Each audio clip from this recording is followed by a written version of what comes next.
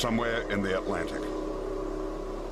A naval warship is on a special mission to transport a brand new fleet of 21st century aircraft across the globe to go to war for the first time.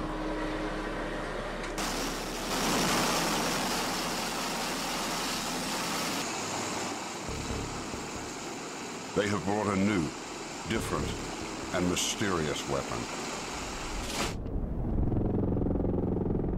Like of which has not been seen on any battlefield before now. It's called the V-22 Osprey. Part helicopter, part plane. They are headed for Al-Assad, Iraq. Transition across the Gulf is approved. Landing at Skid Row via pilot's winds 2804.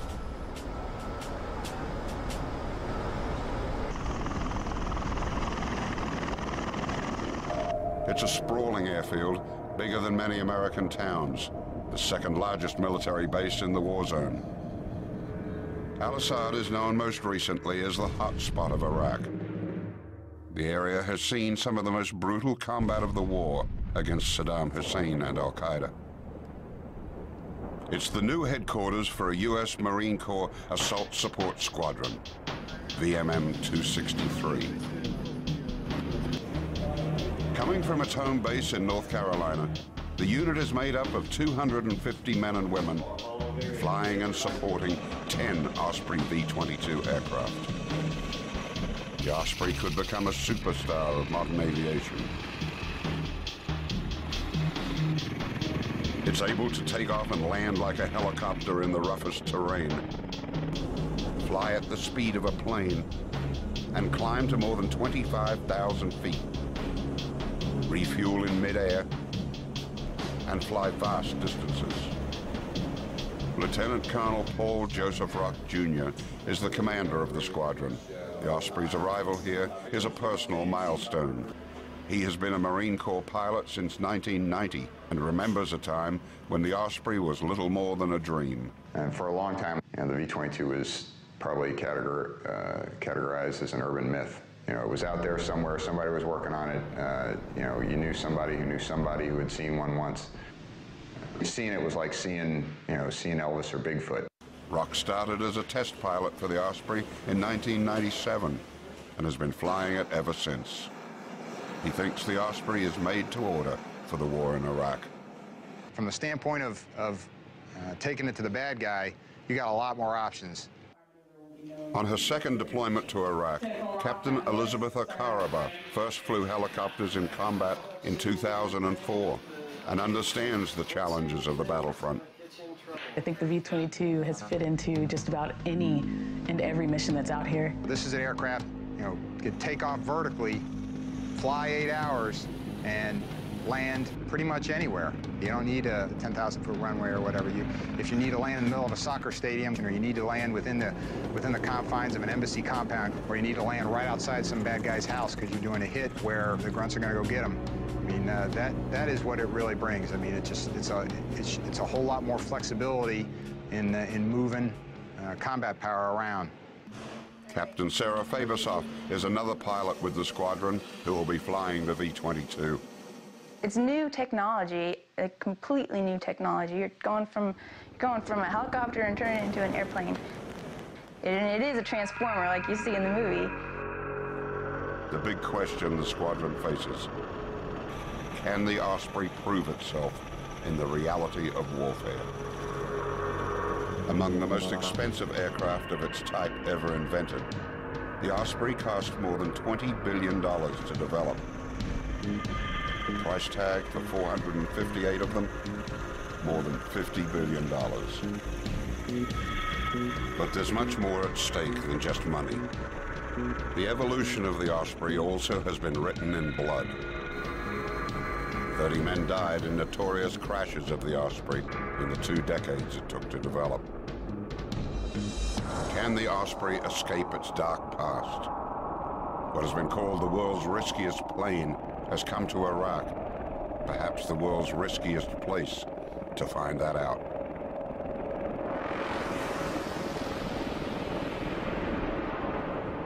when you're trying to advance, you know, when you're trying to do something revolutionary and bring a, a tremendous capability like that, it's not without pitfalls and risks.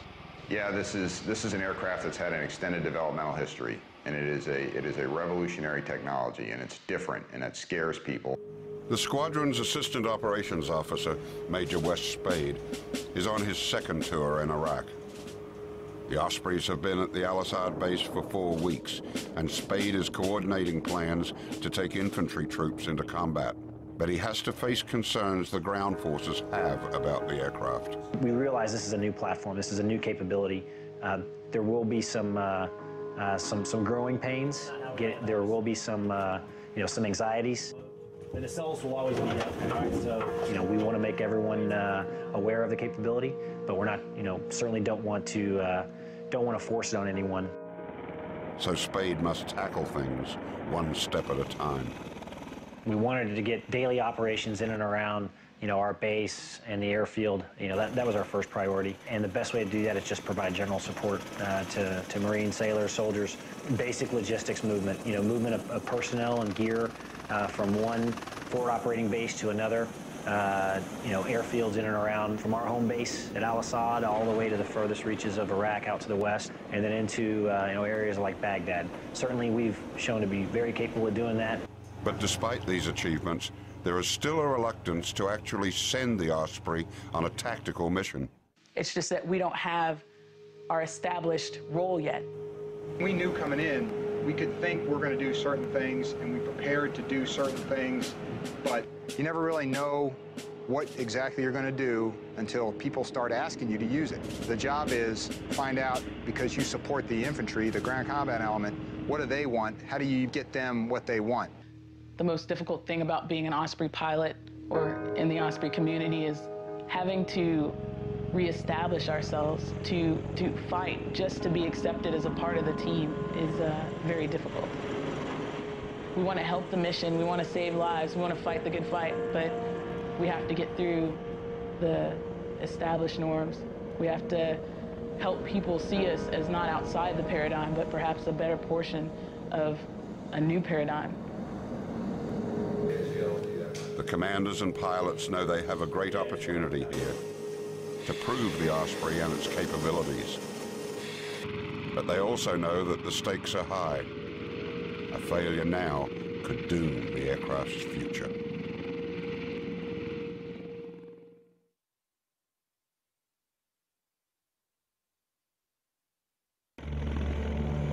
A Marine Corps aviation squadron is putting the world's newest aircraft to the ultimate test in the brutal sands of Iraq.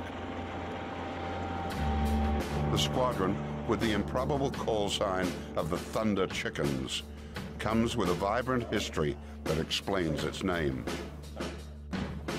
First activated as a Marine transport unit in 1952, the squadron gained fame in Vietnam, flying the legendary double rotor helicopters called Sea-Knight CH-46s, or frogs, that became a symbol of that war.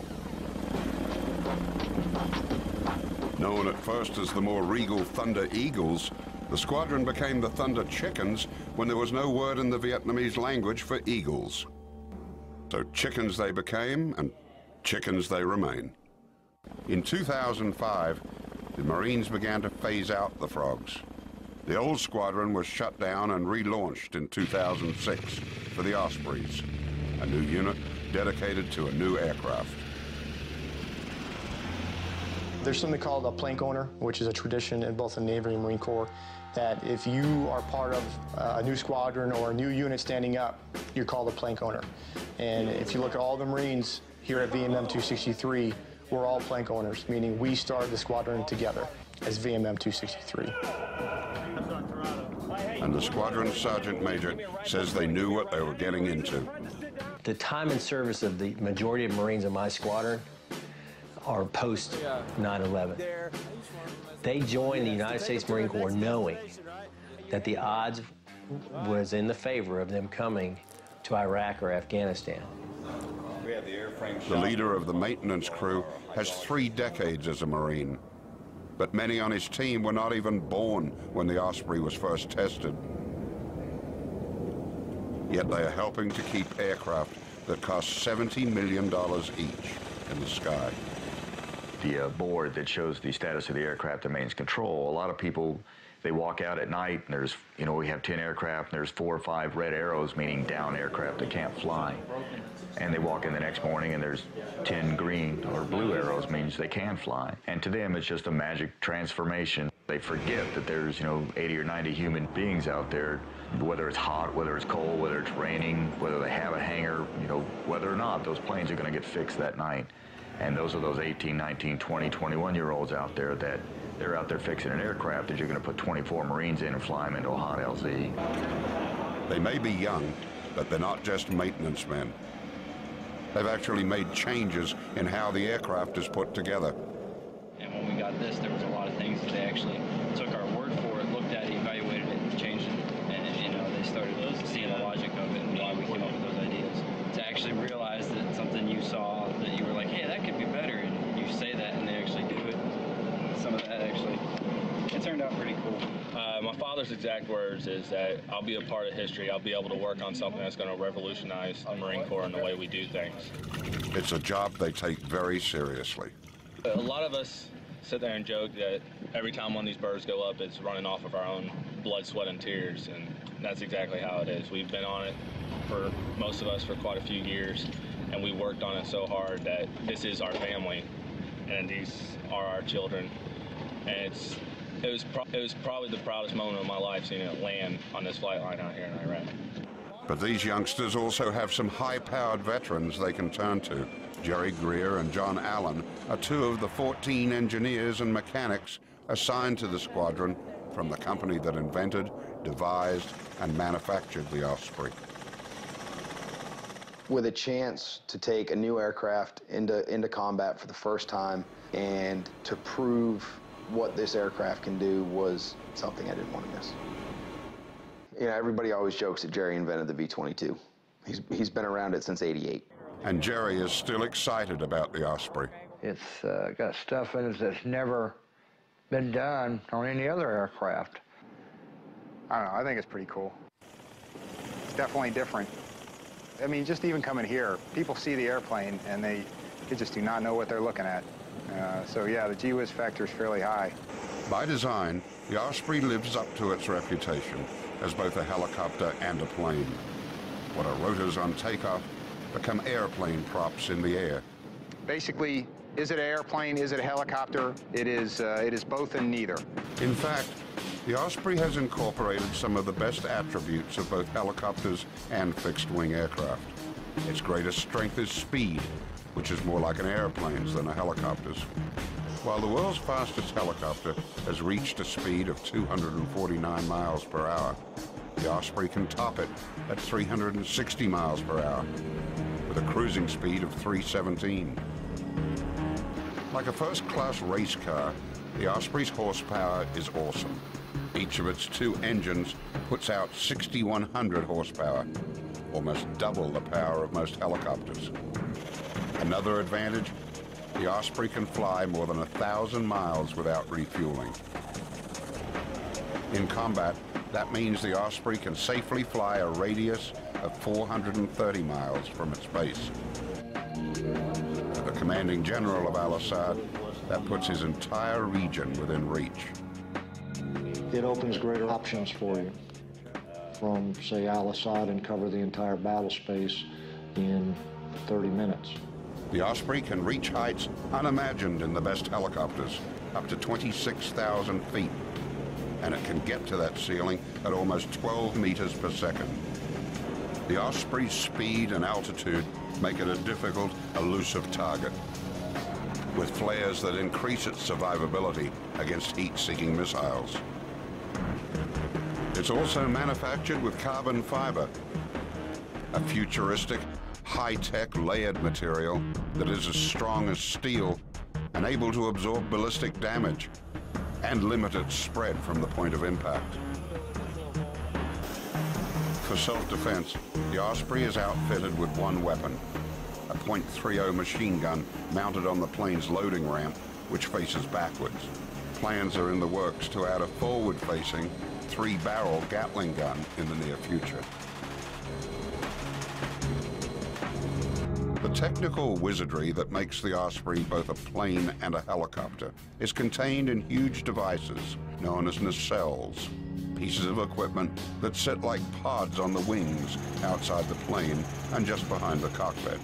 The nacelles are what move the blades back and forth into different positions, up as a helicopter, down as a plane. As far as the nacelles themselves rolling up and down, there's a giant screw run by a hydraulic motor once again electronically controlled from the cockpit. Wherever they request them, the screw turns and, and moves the nacelles up and down.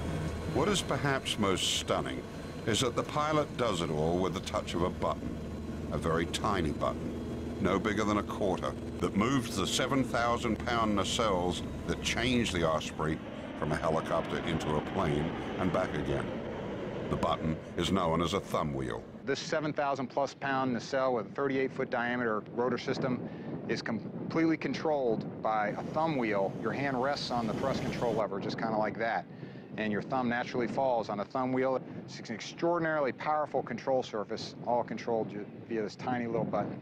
Kind of a standing joke that, that we have when guys uh, pilots are wrestling around, you know, we always protect our left thumb because if that goes down, then, you know, then the, then the pilot's hard down.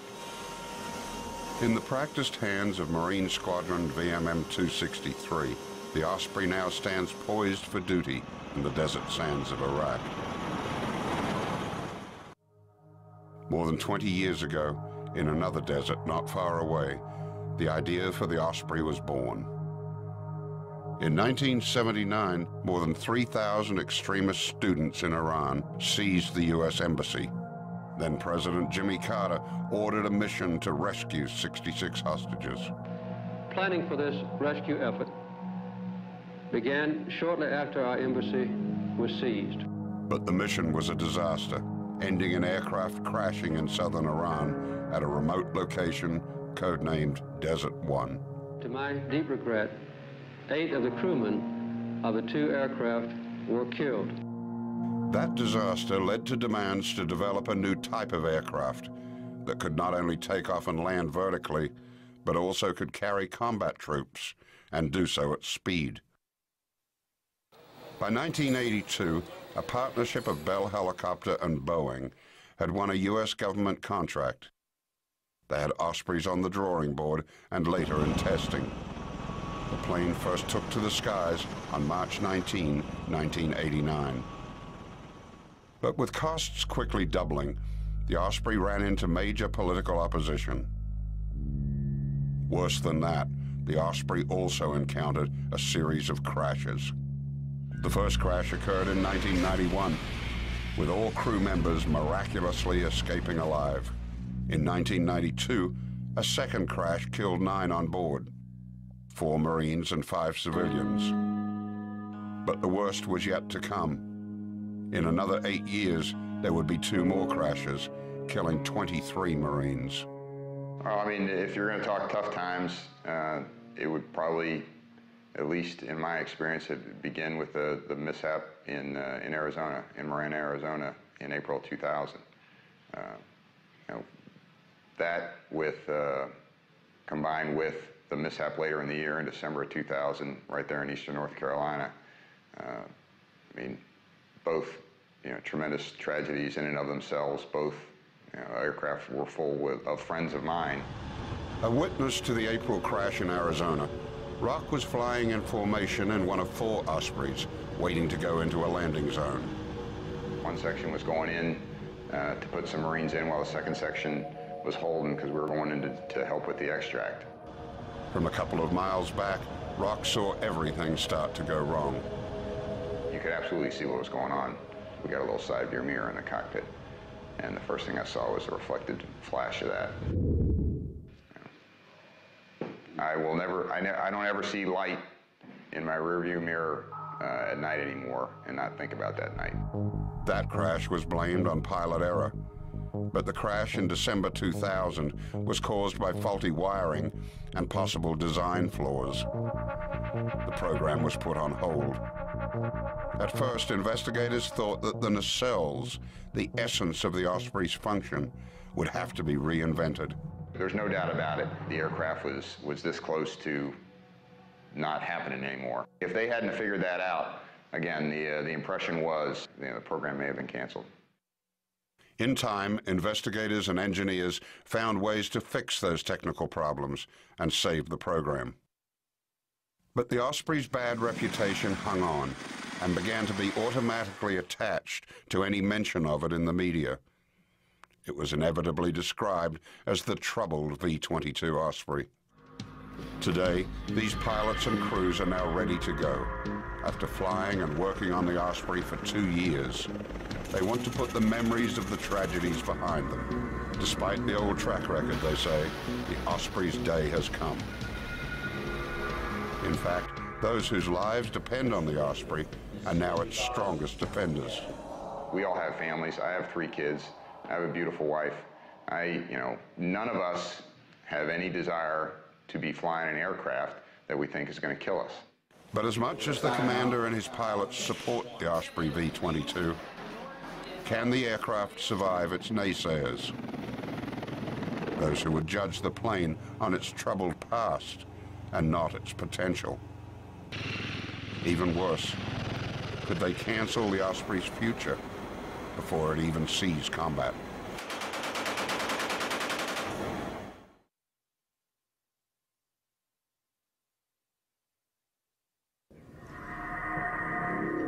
Finally, two months after the V-22 Osprey arrive in Iraq, the revolutionary but controversial aircraft is assigned to carry troops into combat.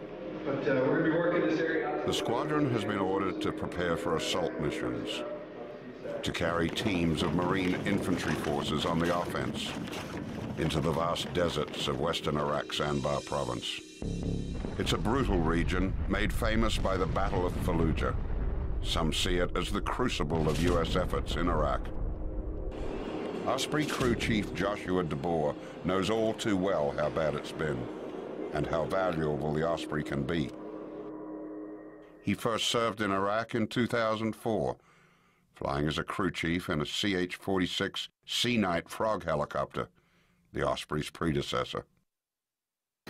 In the Battle of Fallujah, DeBoer was in the lead chopper returning to base after dropping off troops when his helicopter came under attack from rocket-propelled grenades. Just just south of Fallujah there, uh, we took RPG fire, and uh, one of the RPGs hit us. Uh, took out one engine, our electrical power, and our hydraulic power all in one shot. So uh, we didn't have a lot to work with, needless to say. DeBoer and another Marine were in the back of the Frog. Flying at about 100 feet off the ground, the pilots decided to try to make it back on one engine. But then fire broke out in the back of the helicopter.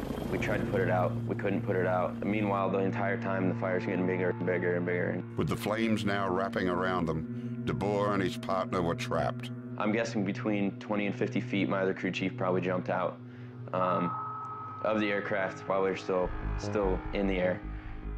We hit the ground. The impact threw me into the cockpit face first, smashing my face against the instrument panel. The helicopter crashed and burned. Amazingly, everyone on board escaped alive, although several with serious injuries, including DeBoer.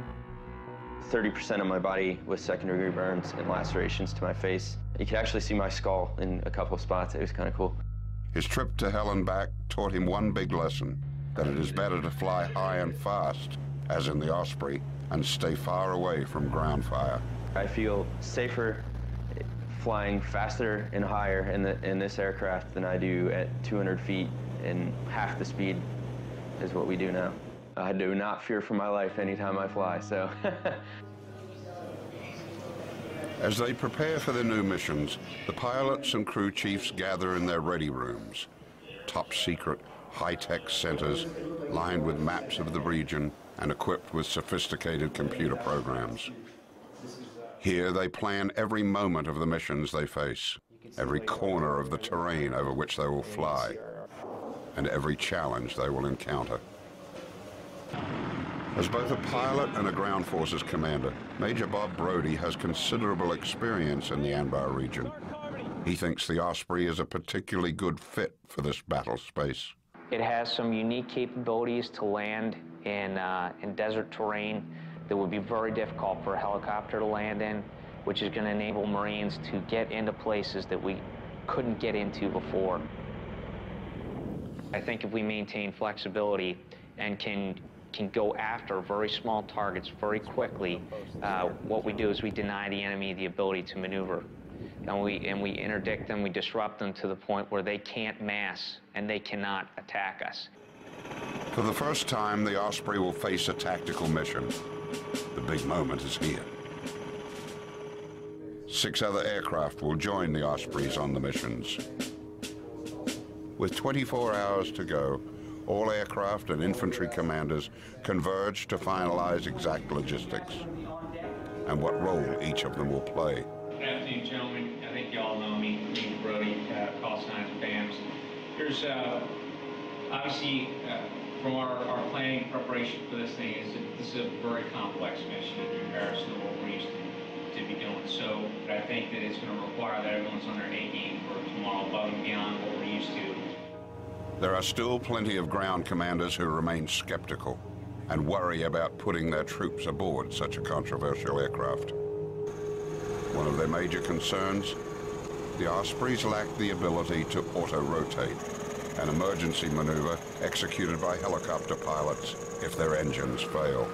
In auto-rotation, a pilot uses downdraft to get the rotors spinning as fast as possible to regain control of an aircraft and soften a crash landing. Because of its different design, the Osprey can't do this maneuver. But the team is confident they don't need auto-rotation. With its awesome horsepower, the Osprey can fly on one of its two engines in an emergency. And the chances of having two engines stop working at the same time are minuscule. I can't imagine both engines, you know, uh, receiving battle damage at the same time. Uh, you know, if you if both engines are shot up, you probably have other issues, and auto rotation is probably the last thing you're gonna have to think about. But there are other problems. In part because of its speed, one of the real challenges will be how to fly the Osprey at safe distances from other aircraft. Deconfliction or keeping space between all the aircraft on the missions to avoid collisions is an object of concern. Deconfliction and working uh, and operating around other aircraft, uh, it, you know, it is, it's, ser it's a serious business. It, it's uh, honestly a meeting of the minds. It's a roundtable discussion, uh, figuring out where assets need to be, and that is the next step. You can deconflict by altitude, by time, or by lateral, just by slapping a boundary down. Hey, you own this side, I own that side. This aerial ballet, and uh, which is what it what it's going to work out to me tomorrow. And I know we'll do well, but just remember that the reason we're out there is to interdict, disrupt, and conduct, uh, you know, scouting and screening. And um, and I think I think we're going to learn a lot tomorrow uh, out there. The moment of truth is fast approaching. Tensions are high. It has taken decades to get to this point, but the squadron knows the morning will come quickly.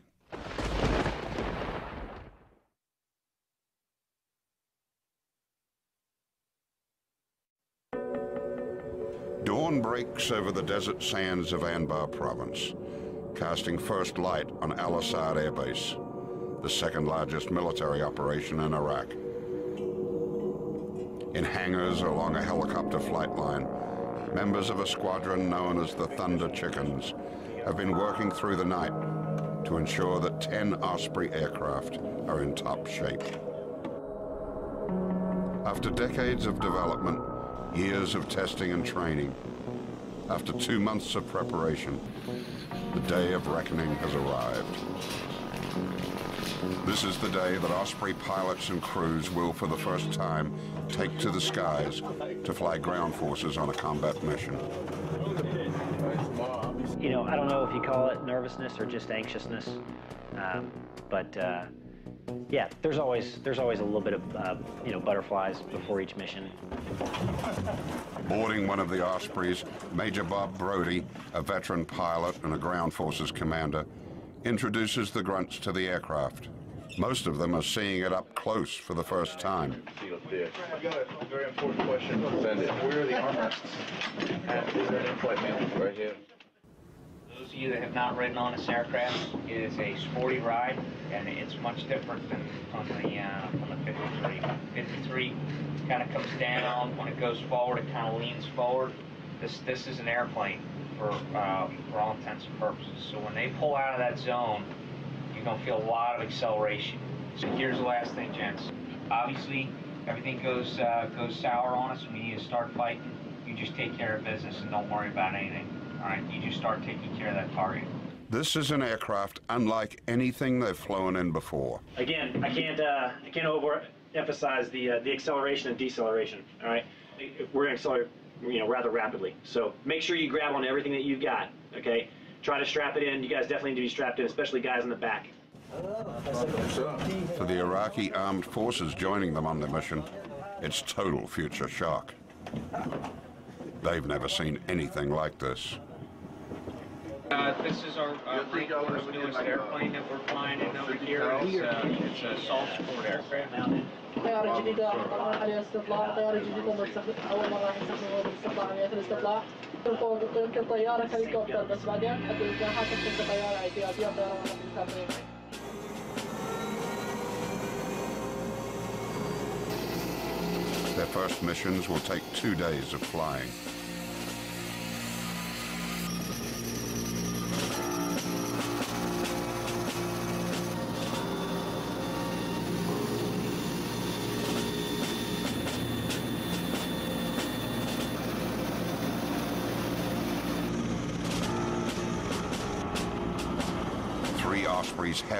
across the vast landscape joined by a Huey attack helicopter and a Super Cobra gunship. Their destination is 34 miles to the northeast, an area codenamed RSA. On day one, their target is a village, codenamed Buccaneers. Intelligence reports have determined it is a regular rest stop for insurgents infiltrating Iraq to bolster enemy forces. The Marines need to cut them off at the pass. The Ospreys are flying more than 40 Marines into the village so they can make contact with leaders of the local community and demonstrate a show of strength.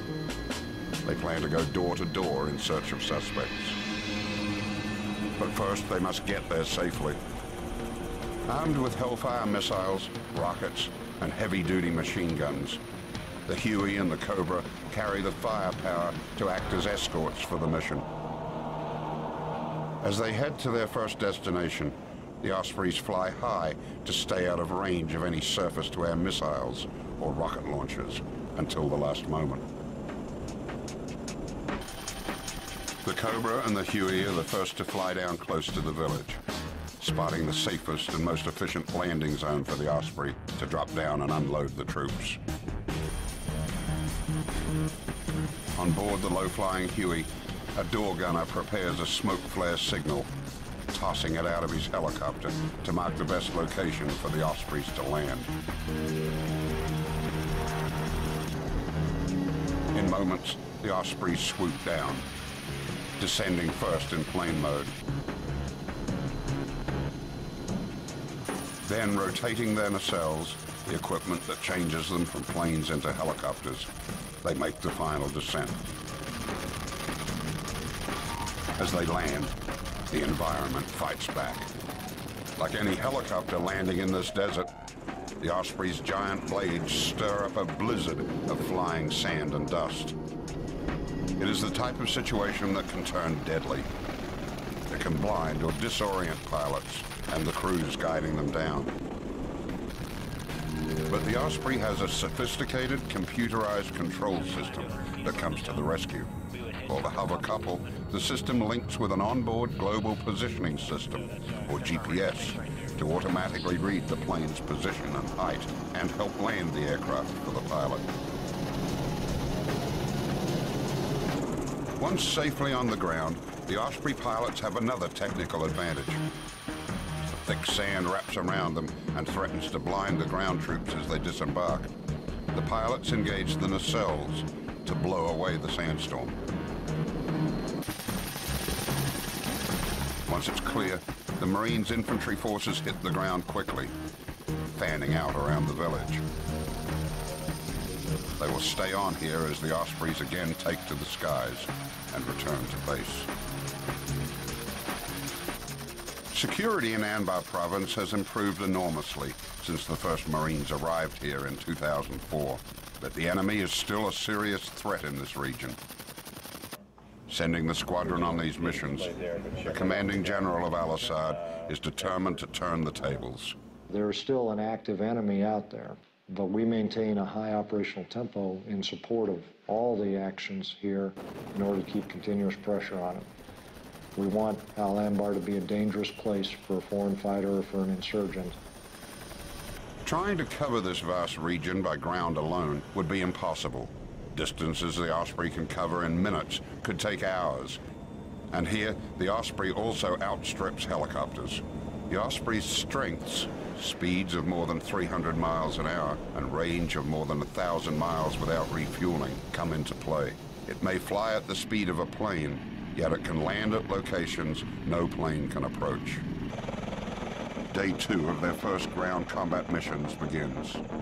They are flying more than 40 infantry troops to the far west of the war zone to scour the border of Iraq and Syria.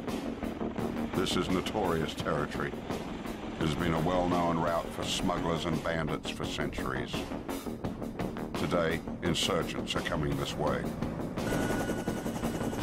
This operation includes a small armada of aircraft. Their targets are a multitude of hiding places, visible only from above.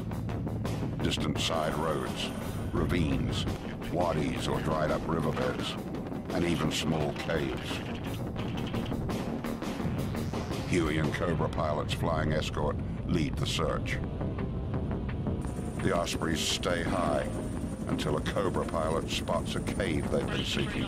Intelligence reports have indicated this could be a storage location for a cache of weapons and explosives being smuggled across the country.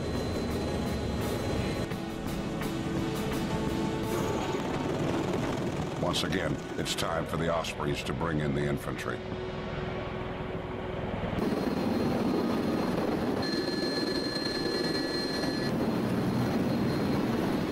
Once again, the troops hit the ground. The Ospreys wait while the infantry forces close in on the cave. But it's a dry hole. If it has been used as a weapons storage facility, it's now been emptied. Frustrated, the infantry forces return to the Ospreys that again take to the air to continue the search.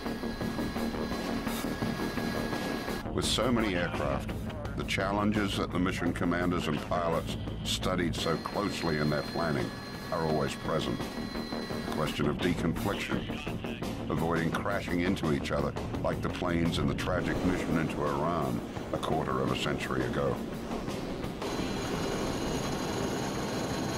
Out here, it's no longer history, it's the real thing. Throughout the day, they fly up and down the border, smoothly integrating with other aircraft. As they return to base, it's been two days of combat operations. And it's been a long two days.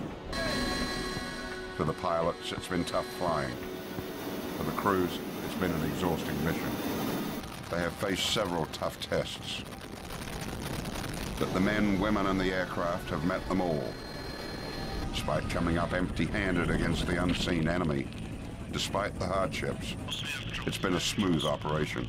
The Ospreys have proved they are ready for combat. They can get troops where they need to go. They can do it in the toughest environment. And all along, the Osprey's technology has proved vitally important. The aircraft that some claimed could be a disaster in a war zone like Iraq, simply performing smoothly and without incident has become a benchmark of success. These Ospreys have risen to the challenge, proving that their attributes far outweigh their past failures, most of which are now more than a decade old. The men and women of the squadron feel good about what they have done. But they will soon get a report card from their ultimate authority, in person.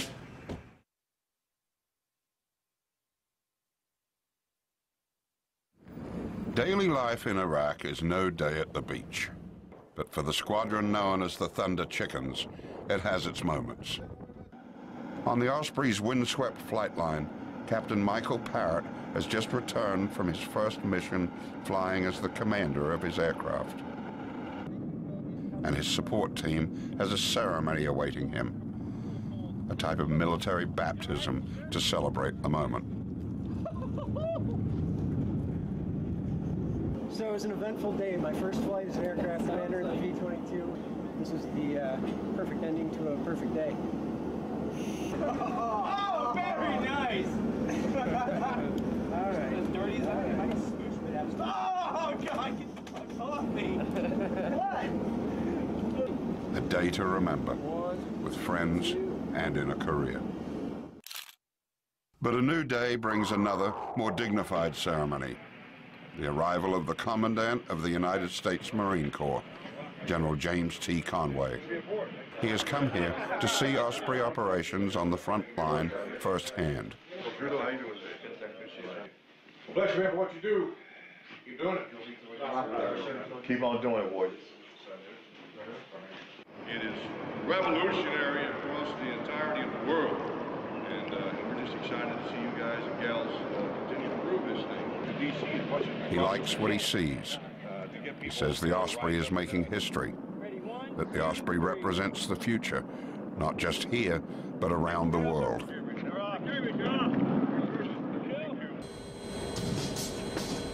While the aircraft's introduction to the battle zone has been incremental, its advocates say its future is unlimited. It is a superior aircraft that is, is going to support Marine Corps aviations and, and, and take us to places that we don't, we don't even know about yet, I don't think. I won't tell you this is the future of the Marine Corps, but the concept, to me, is the future of all aviation. While this feels familiar because some of us have been to Iraq before, uh, all new experiences and, and all new all new mission planning. All you know, everything is is somewhat new. It has an old flavor and feel to it, but it's all new. That's what these pilots hope for: a new day and a new chance for an aircraft they say deserves both. There's definitely an evolution that the aircraft is going to have to go through in order to be used to its full potential. You know, it's all about just trying to find out how to, to leverage the capabilities that each one can bring to best effect. Carry more, go faster, go farther. Those are all kind of raw capabilities. You only find out what the aircraft can do when it's stretched by people asking it to do things. I think we're doing the job and people as they get more comfortable with us, as they, they, they get more interaction with us, as we get integrated, they're they're falling in love with the airframe. It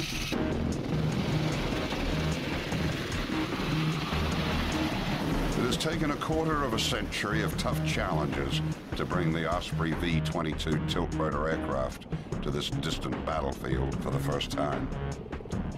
It's been an arduous journey, but its advocates insist it's only the beginning.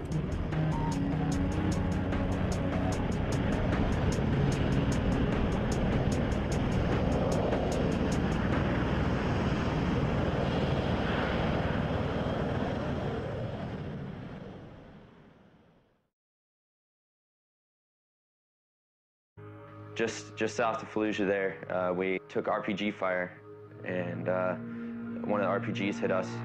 Uh, took out one engine, our electrical power, and our hydraulic power all in one shot. So uh, we didn't have a lot to work with, needless to say.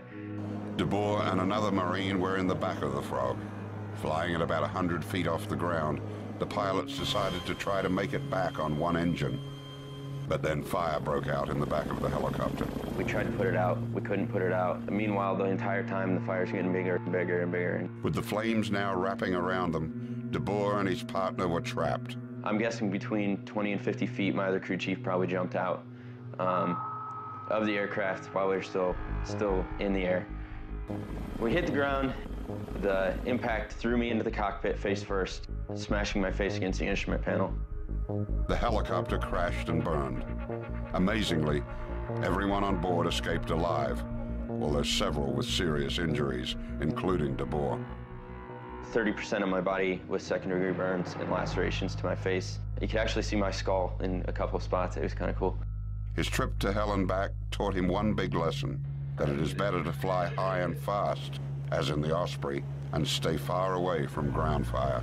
I feel safer flying faster and higher in, the, in this aircraft than I do at 200 feet and half the speed is what we do now. I do not fear for my life anytime I fly, so. As they prepare for their new missions, the pilots and crew chiefs gather in their ready rooms, top secret, high-tech centers lined with maps of the region and equipped with sophisticated computer programs. Here they plan every moment of the missions they face, every corner of the terrain over which they will fly, and every challenge they will encounter. As both a pilot and a ground forces commander, Major Bob Brody has considerable experience in the Anbar region. He thinks the Osprey is a particularly good fit for this battle space. It has some unique capabilities to land in, uh, in desert terrain that would be very difficult for a helicopter to land in, which is going to enable Marines to get into places that we couldn't get into before. I think if we maintain flexibility and can can go after very small targets very quickly, uh, what we do is we deny the enemy the ability to maneuver. And we, and we interdict them, we disrupt them to the point where they can't mass and they cannot attack us. For the first time, the Osprey will face a tactical mission. The big moment is here. Six other aircraft will join the Ospreys on the missions. With 24 hours to go, all aircraft and infantry commanders converge to finalize exact logistics and what role each of them will play. Good afternoon, gentlemen. I think you all know me, Brody, uh, call signs FAMS. Here's uh, obviously uh, from our, our planning preparation for this thing is that this is a very complex mission in comparison to what we're used to, to be doing. So I think that it's going to require that everyone's on their A game for tomorrow above and beyond what we're used to. There are still plenty of ground commanders who remain skeptical and worry about putting their troops aboard such a controversial aircraft. One of their major concerns, the Ospreys lack the ability to auto-rotate, an emergency maneuver executed by helicopter pilots if their engines fail. In auto-rotation, a pilot uses downdraft to get the rotors spinning as fast as possible to regain control of an aircraft and soften a crash landing. Because of its different design, the Osprey can't do this maneuver. But the team is confident they don't need auto-rotation. With its awesome horsepower, the Osprey can fly on one of its two engines in an emergency. And the chances of having two engines stop working at the same time are minuscule. I can't imagine both engines, you know, uh, receiving battle damage at the same time. Uh, you know, if you if both engines are shot up, you probably have other issues, and auto rotation is probably the last thing you're gonna have to think about. But there are other problems. In part because of its speed, one of the real challenges will be how to fly the Osprey at safe distances from other aircraft. Deconfliction or keeping space between all the aircraft on the missions to avoid collisions is an object of concern. Deconfliction and working uh, and operating around other aircraft, uh, it, you know, it is, it's, it's a serious business. It, it's honestly a meeting of the minds. It's a roundtable discussion, uh, figuring out where assets need to be, and that is the next step. You can deconflict by altitude, by time, or by lateral, just by slapping a boundary down. Hey, you own this side, I own that side. This aerial ballet, and uh, which is what it what it's going to work out to be tomorrow. And I know we'll do well, but just remember that the reason we're out there is to interdict, disrupt, and conduct, uh, you know, scouting and screening. And um, and I think I think we're going to learn a lot. The moment of truth is fast approaching. Tensions are high. It has taken decades to get to this point, but the squadron knows the morning will come quickly.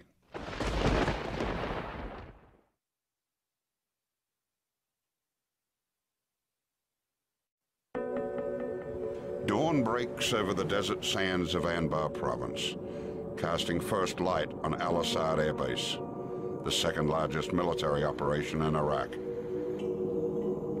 In hangars along a helicopter flight line, members of a squadron known as the Thunder Chickens have been working through the night to ensure that 10 Osprey aircraft are in top shape.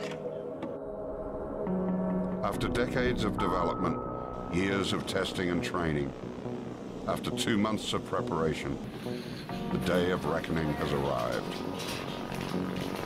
This is the day that Osprey pilots and crews will, for the first time, take to the skies to fly ground forces on a combat mission. You know, I don't know if you call it nervousness or just anxiousness, um, but uh, yeah, there's always there's always a little bit of uh, you know butterflies before each mission. Boarding one of the Ospreys, Major Bob Brody, a veteran pilot and a ground forces commander, introduces the grunts to the aircraft. Most of them are seeing it up close for the first time. I got a very important question. Send it. Where are the armrests? Is there an in-flight manual? Right here. Those of you that have not ridden on this aircraft, it is a sporty ride, and it's much different than on the uh, from the 53.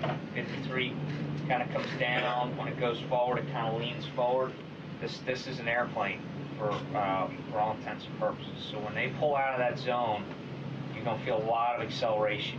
So here's the last thing, gents. Obviously, everything goes uh, goes sour on us. And we need to start fighting. You just take care of business and don't worry about anything. All right, you just start taking care of that target. This is an aircraft unlike anything they've flown in before. Again, I can't uh, I can't overemphasize the uh, the acceleration and deceleration. All right, we're going to accelerate, you know, rather rapidly. So make sure you grab on everything that you've got. Okay, try to strap it in. You guys definitely need to be strapped in, especially guys in the back. For the Iraqi armed forces joining them on the mission, it's total future shock. They've never seen anything like this.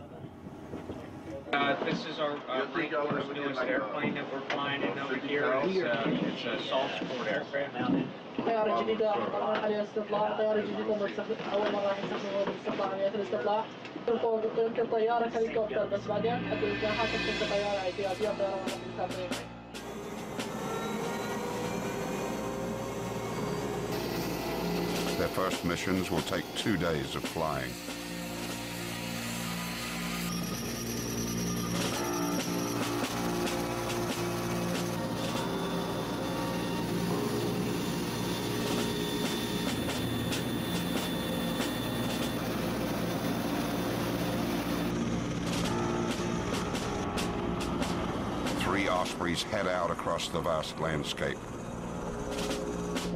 joined by a Huey attack helicopter and a Super Cobra gunship.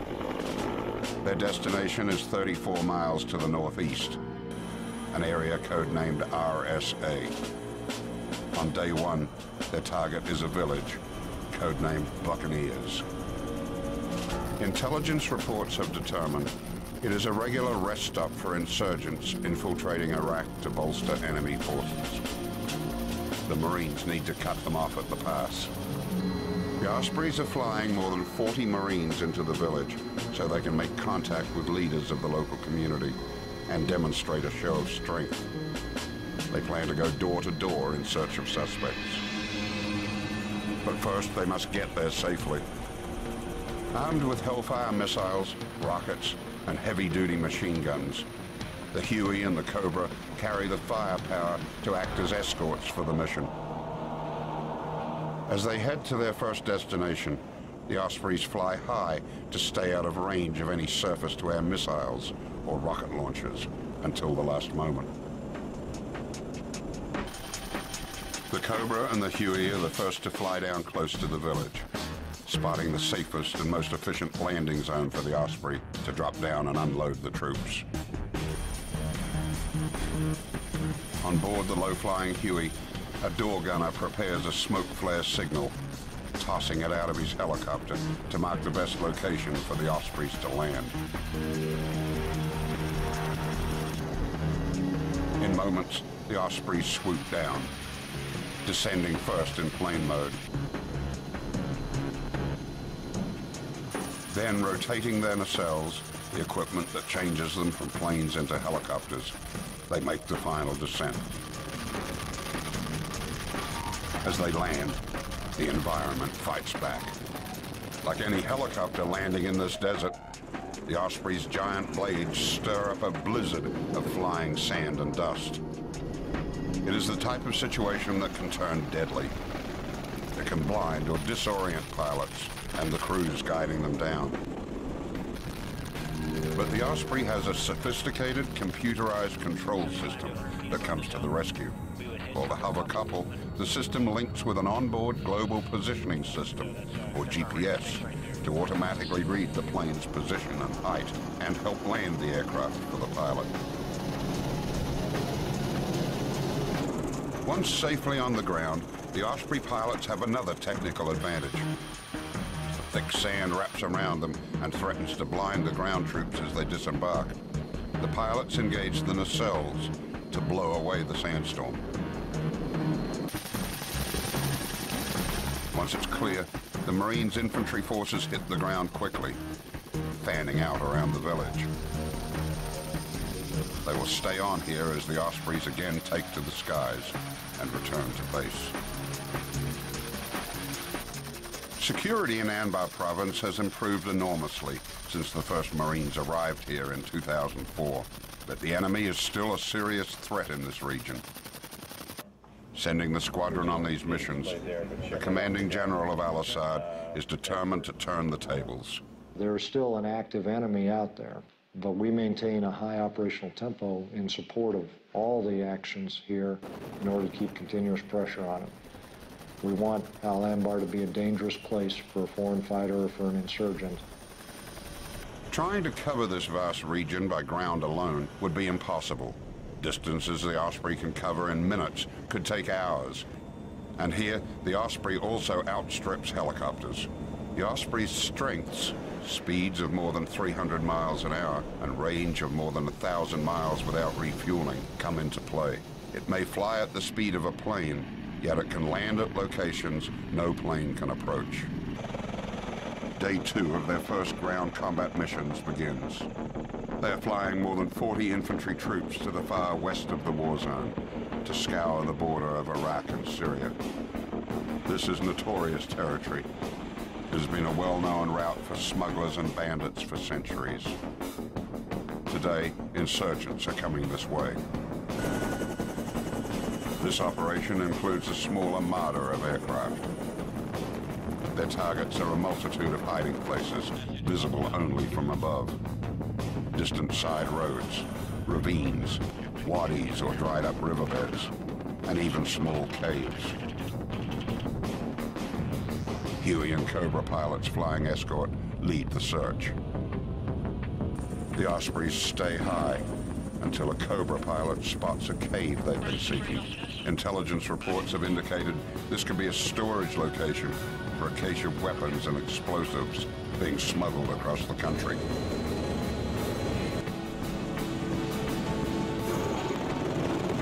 Once again, it's time for the Ospreys to bring in the infantry.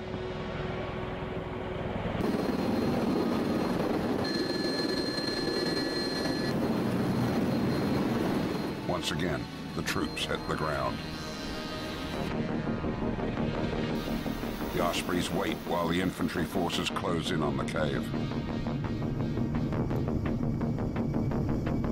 But it's a dry hole if it has been used as a weapons storage facility. Somewhere in the Atlantic, a naval warship is on a special mission to transport a brand new fleet of 21st century aircraft across the globe to go to war for the first time.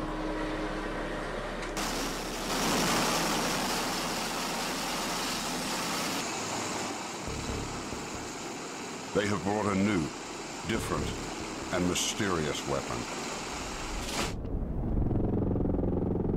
The like of which has not been seen on any battlefield before now. It's called the V-22 Osprey. Part helicopter, part plane. They are headed for Al-Asad, Iraq. transition across the goals is approved. Landing at Skid Row will be at pilot's own risk, winds 2804. It's a sprawling airfield, bigger than many American towns, the second largest military base in the war zone. Al Asad is known most recently as the hotspot of Iraq. The area has seen some of the most brutal combat of the war against Saddam Hussein and Al Qaeda. It's the new headquarters for a U.S. Marine Corps Assault Support Squadron, VMM 263. Coming from its home base in North Carolina, the unit is made up of 250 men and women, flying and supporting 10 Osprey V-22 aircraft. The Osprey could become a superstar of modern aviation. It's able to take off and land like a helicopter in the roughest terrain, fly at the speed of a plane, and climb to more than 25,000 feet refuel in midair, and fly vast distances. Lieutenant Colonel Paul Joseph Rock Jr. is the commander of the squadron. The Osprey's arrival here is a personal milestone. He has been a Marine Corps pilot since 1990 and remembers a time when the Osprey was little more than a dream. And for a long time, you know, the V-22 was probably categor uh, categorized as an urban myth. You know, it was out there somewhere, somebody was working on it. Uh, you know, you knew somebody who knew somebody who had seen one once. Seeing it was like seeing, you know, seeing Elvis or Bigfoot. Rock started as a test pilot for the Osprey in 1997 and has been flying it ever since. He thinks the Osprey is made to order for the war in Iraq. From the standpoint of, of uh, taking it to the bad guy, you got a lot more options. On her second deployment to Iraq, Captain Elizabeth Akaraba first flew helicopters in combat in 2004 and understands the challenges of the battlefront. I think the V-22 has fit into just about any and every mission that's out here. This is an aircraft, you know, could take off vertically, fly eight hours, and land pretty much anywhere. You don't need a 10,000 foot runway or whatever. You, if you need to land in the middle of a soccer stadium, or you need to land within the within the confines of an embassy compound, or you need to land right outside some bad guy's house because you're doing a hit where the grunts are going to go get them. I mean, uh, that that is what it really brings. I mean, it just it's a it's, it's a whole lot more flexibility in uh, in moving uh, combat power around. Captain Sarah Fabersoff is another pilot with the squadron who will be flying the V-22. It's new technology, a completely new technology. You're going from going from a helicopter and turning it into an airplane. And it is a transformer like you see in the movie. The big question the squadron faces. Can the Osprey prove itself in the reality of warfare? Among the most expensive aircraft of its type ever invented, the Osprey cost more than $20 billion to develop. Price tag for 458 of them, more than $50 billion. But there's much more at stake than just money. The evolution of the Osprey also has been written in blood. 30 men died in notorious crashes of the Osprey in the two decades it took to develop. Can the Osprey escape its dark past? What has been called the world's riskiest plane has come to Iraq, perhaps the world's riskiest place to find that out.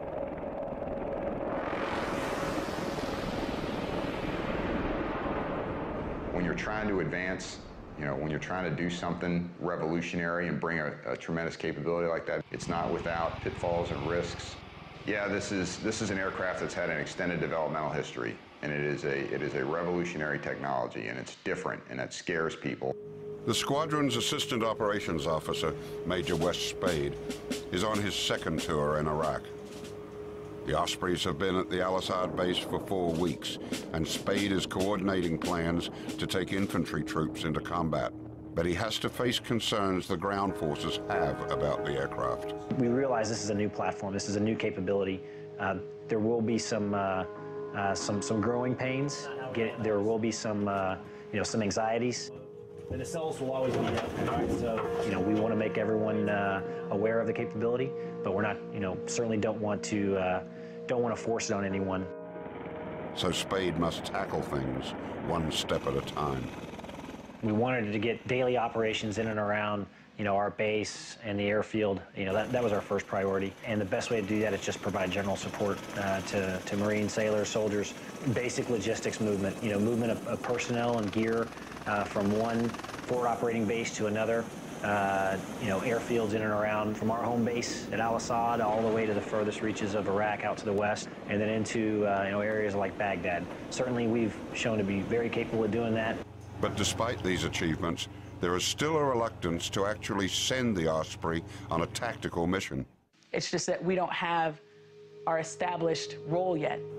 We knew coming in, we could think we're going to do certain things, and we prepared to do certain things, but you never really know what exactly you're going to do until people start asking you to use it. The job is find out, because you support the infantry, the ground combat element, what do they want? How do you get them what they want? The most difficult thing about being an Osprey pilot or in the Osprey community is having to reestablish ourselves to to fight just to be accepted as a part of the team is uh, very difficult. We want to help the mission, we want to save lives, we want to fight the good fight, but we have to get through the established norms.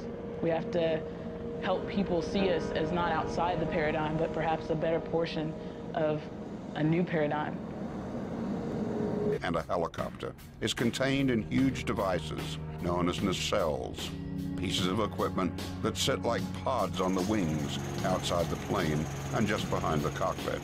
The nacelles are what move the blades back and forth into different positions, up as a helicopter, down as a plane. As far as the nacelles themselves rolling up and down, there's a giant screw run by a hydraulic motor.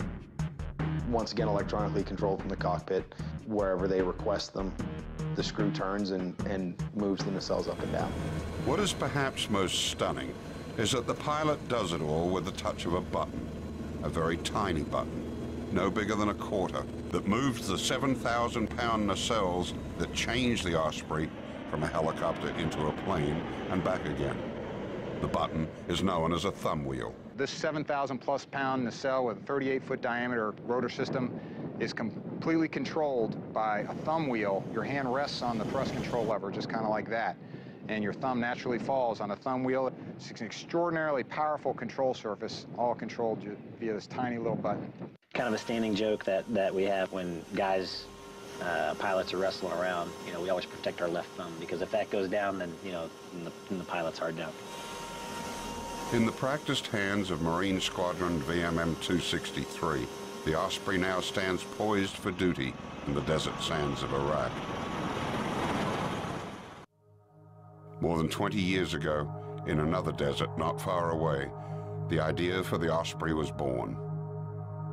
In 1979, more than 3,000 extremist students in Iran seized the U.S. Embassy. Then President Jimmy Carter ordered a mission to rescue 66 hostages. Planning for this rescue effort began shortly after our embassy was seized. But the mission was a disaster, ending in aircraft crashing in southern Iran at a remote location codenamed Desert One. To my deep regret, eight of the crewmen of the two aircraft were killed. That disaster led to demands to develop a new type of aircraft that could not only take off and land vertically, but also could carry combat troops and do so at speed. By 1982, a partnership of Bell Helicopter and Boeing had won a U.S. government contract. They had Ospreys on the drawing board and later in testing. The plane first took to the skies on March 19, 1989. But with costs quickly doubling, the Osprey ran into major political opposition. Worse than that, the Osprey also encountered a series of crashes. The first crash occurred in 1991, with all crew members miraculously escaping alive. In 1992, a second crash killed nine on board, four Marines and five civilians. But the worst was yet to come. In another eight years, there would be two more crashes, killing 23 Marines. Well, I mean, if you're going to talk tough times, uh, it would probably, at least in my experience, it begin with the, the mishap in, uh, in Arizona, in Marana, Arizona, in April 2000. Uh, you know, that with, uh, combined with the mishap later in the year in December of 2000, right there in eastern North Carolina, uh, I mean, both, you know, tremendous tragedies in and of themselves, both you know, aircraft were full with, of friends of mine. A witness to the April crash in Arizona, Rock was flying in formation in one of four Ospreys, waiting to go into a landing zone. One section was going in uh, to put some Marines in while the second section was holding because we were going in to, to help with the extract. From a couple of miles back, Rock saw everything start to go wrong. You could absolutely see what was going on. We got a little side view mirror in the cockpit, and the first thing I saw was a reflected flash of that. I will never, I, ne I don't ever see light in my rearview mirror uh, at night anymore and not think about that night. That crash was blamed on pilot error. But the crash in December 2000 was caused by faulty wiring and possible design flaws. The program was put on hold. At first, investigators thought that the nacelles, the essence of the Osprey's function, would have to be reinvented. There's no doubt about it. The aircraft was, was this close to not happening anymore. If they hadn't figured that out, again, the, uh, the impression was you know, the program may have been canceled. In time, investigators and engineers found ways to fix those technical problems and save the program. But the Osprey's bad reputation hung on and began to be automatically attached to any mention of it in the media. It was inevitably described as the troubled V-22 Osprey. Today, these pilots and crews are now ready to go. After flying and working on the Osprey for two years, they want to put the memories of the tragedies behind them. Despite the old track record, they say, the Osprey's day has come. In fact, those whose lives depend on the Osprey are now its strongest defenders. We all have families. I have three kids. I have a beautiful wife. I, you know, none of us have any desire to be flying an aircraft that we think is going to kill us. But as much as the commander and his pilots support the Osprey V-22, can the aircraft survive its naysayers? Those who would judge the plane on its troubled past and not its potential. Even worse, could they cancel the Osprey's future before it even sees combat?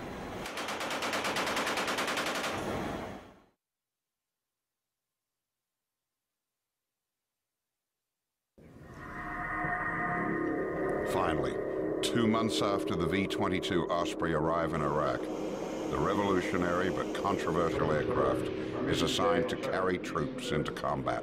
But uh, we're going to be working this area. The squadron has been ordered to prepare for assault missions, to carry teams of Marine infantry forces on the offense into the vast deserts of western Iraq's Anbar province. It's a brutal region made famous by the Battle of Fallujah. Some see it as the crucible of U.S. efforts in Iraq. Osprey crew chief Joshua DeBoer knows all too well how bad it's been and how valuable the Osprey can be. He first served in Iraq in 2004, flying as a crew chief in a CH-46 Sea Knight Frog helicopter, the Osprey's predecessor. In the Battle of Fallujah, DeBoer was in the lead chopper returning to base after dropping off troops when his helicopter came under attack from rocket-propelled grenades. The commanders and pilots know they have a great opportunity here to prove the Osprey and its capabilities. But they also know that the stakes are high. A failure now could doom the aircraft's future.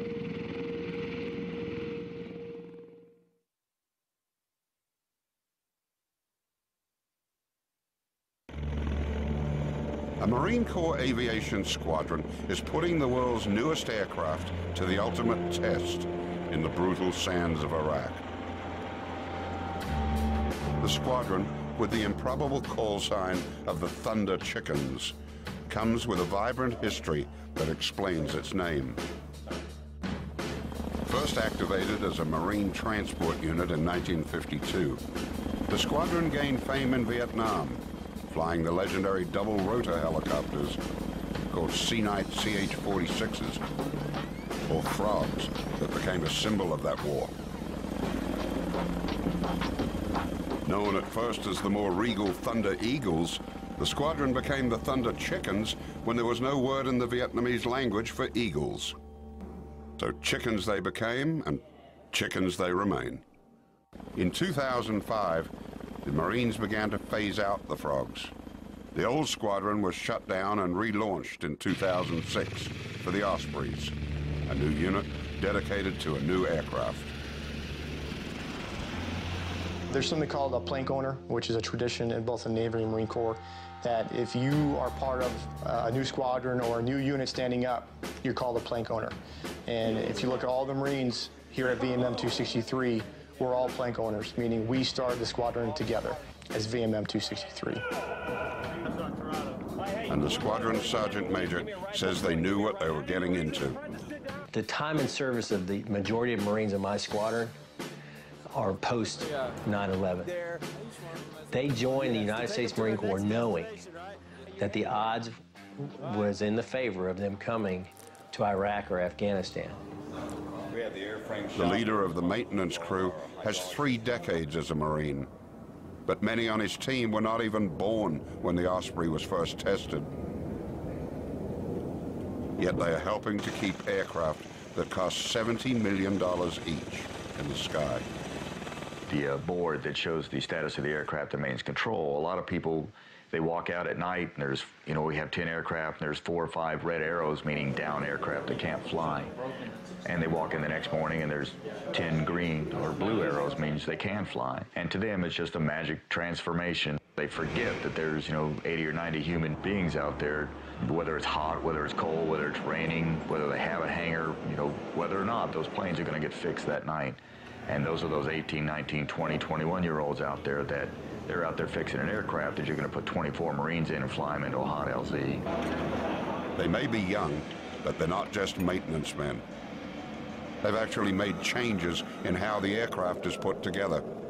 And when we got this, there was a lot of things that they actually took our word for it, looked at it, evaluated it, and changed it. And, you know, they started seeing the logic of it and why we came up with those ideas. To actually realize that something you saw that you were like, hey, that could be better, and you say that and they actually do it. Some of that actually, it turned out pretty cool. Uh, my father's exact words is that I'll be a part of history. I'll be able to work on something that's going to revolutionize the Marine Corps and the way we do things. It's a job they take very seriously. A lot of us sit there and joke that every time one of these birds go up, it's running off of our own blood, sweat, and tears, and that's exactly how it is. We've been on it for most of us for quite a few years, and we worked on it so hard that this is our family, and these are our children, and it's it was it was probably the proudest moment of my life seeing it land on this flight line out here in Iraq. But these youngsters also have some high-powered veterans they can turn to. Jerry Greer and John Allen are two of the 14 engineers and mechanics assigned to the squadron from the company that invented, devised, and manufactured the Osprey. With a chance to take a new aircraft into, into combat for the first time and to prove what this aircraft can do was something I didn't want to miss. You know, everybody always jokes that Jerry invented the V-22. He's, he's been around it since 88. And Jerry is still excited about the Osprey. It's uh, got stuff in it that's never been done on any other aircraft. I don't know, I think it's pretty cool. It's definitely different. I mean, just even coming here, people see the airplane and they, they just do not know what they're looking at. Uh, so yeah, the gee whiz factor is fairly high. By design, the Osprey lives up to its reputation as both a helicopter and a plane. What are rotors on takeoff become airplane props in the air. Basically, is it an airplane? Is it a helicopter? It is, uh, it is both and neither.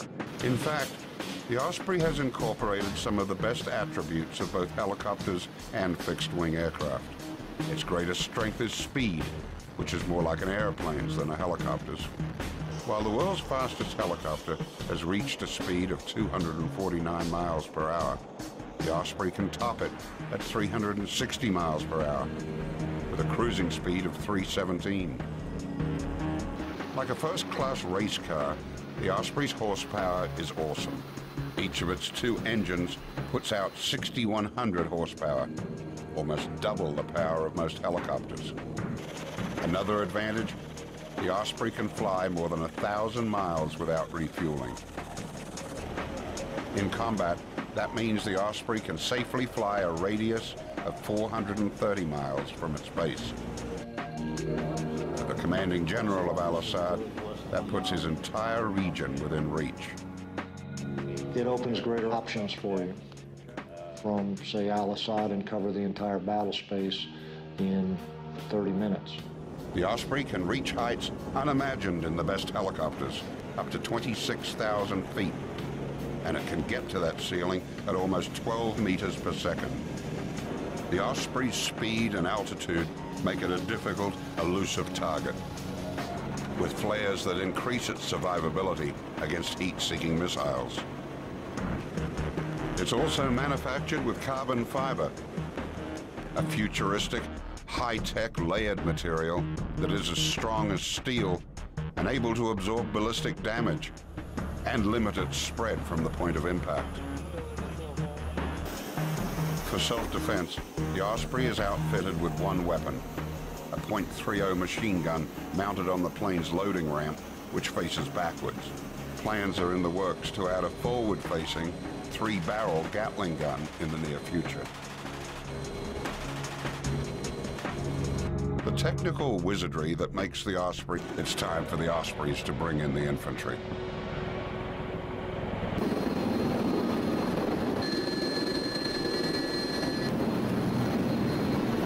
Once again, the troops hit the ground. The Ospreys wait while the infantry forces close in on the cave. But it's a dry hole. It has been used as a weapons storage facility, it's now been emptied. Frustrated, the infantry forces return to the Ospreys that again take to the air to continue the search.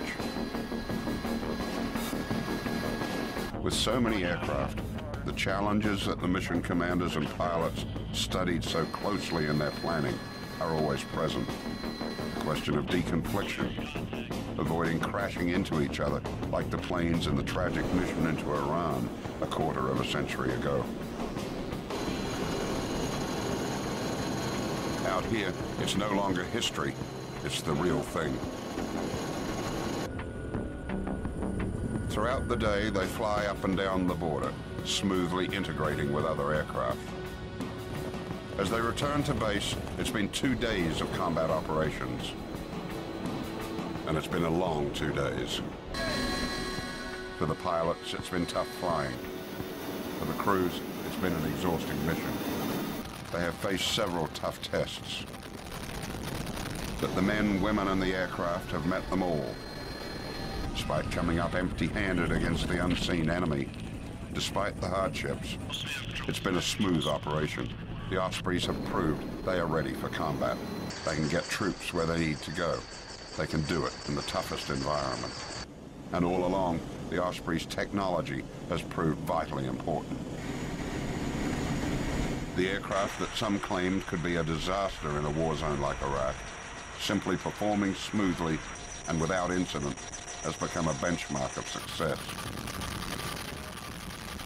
These Ospreys have risen to the challenge, proving that their attributes far outweigh their past failures, most of which are now more than a decade old.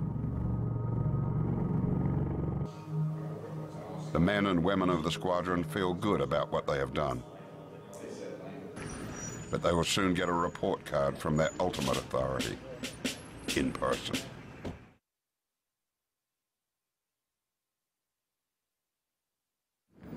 Daily life in Iraq is no day at the beach. But for the squadron known as the Thunder Chickens, it has its moments. On the Osprey's windswept flight line, Captain Michael Parrott has just returned from his first mission flying as the commander of his aircraft, copters and fixed-wing aircraft. Its greatest strength is speed, which is more like an airplane's than a helicopter's. While the world's fastest helicopter has reached a speed of 249 miles per hour, the Osprey can top it at 360 miles per hour with a cruising speed of 317. Like a first-class race car, the Osprey's horsepower is awesome. Each of its two engines puts out 6,100 horsepower, almost double the power of most helicopters. Another advantage, the Osprey can fly more than a thousand miles without refueling. In combat, that means the Osprey can safely fly a radius of 430 miles from its base. The commanding general of Al-Asad, that puts his entire region within reach. It opens greater options for you from, say, Al-Asad and cover the entire battle space in 30 minutes. The Osprey can reach heights unimagined in the best helicopters, up to 26,000 feet. And it can get to that ceiling at almost 12 meters per second.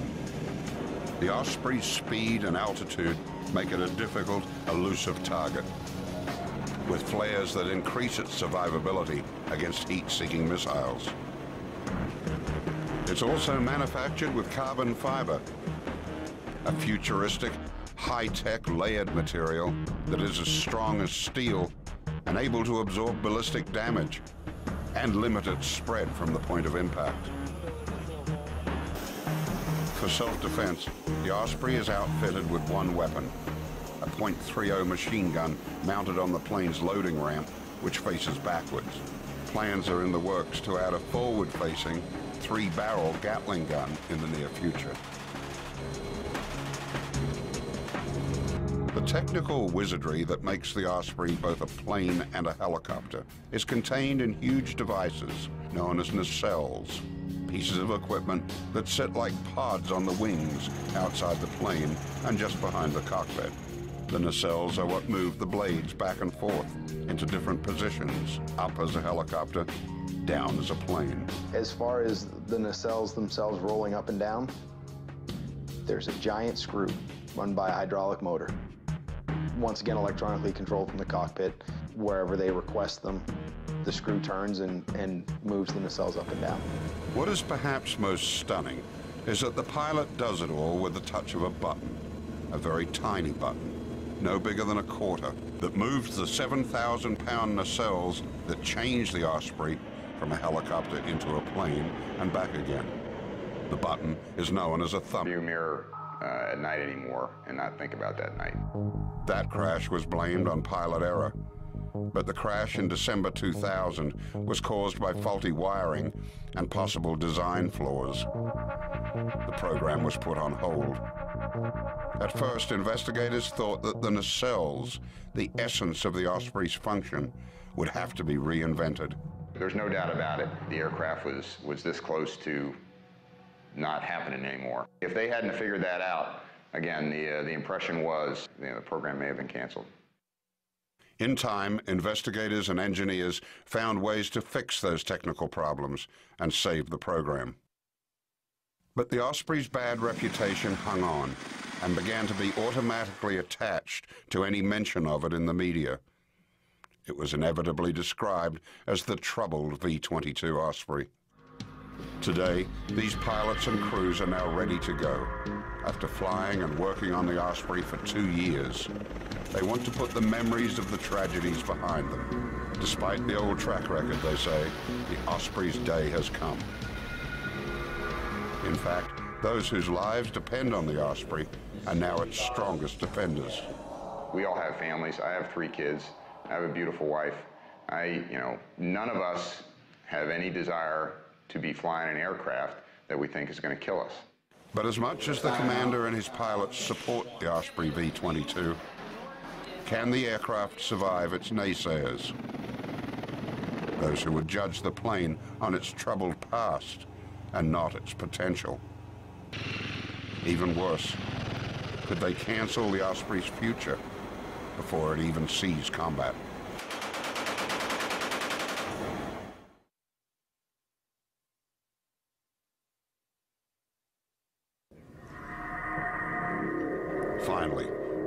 Months after the V-22 Osprey arrive in Iraq, the revolutionary but controversial aircraft is assigned to carry troops into combat. But uh, we're going to be working this area The squadron has been ordered to prepare for assault missions, to carry teams of Marine infantry forces on the offense into the vast deserts of western Iraq's Anbar province. It's a brutal region made famous by the Battle of Fallujah. Some see it as the crucible of U.S. efforts in Iraq. Osprey crew chief Joshua DeBoer knows all too well how bad it's been and how valuable the Osprey can be. He first served in Iraq in 2004, flying as a crew chief in a CH-46 Sea Knight Frog helicopter, the Osprey's predecessor. In the Battle of Fallujah, DeBoer was in the lead chopper, returning to... It's time for the Ospreys to bring in the infantry.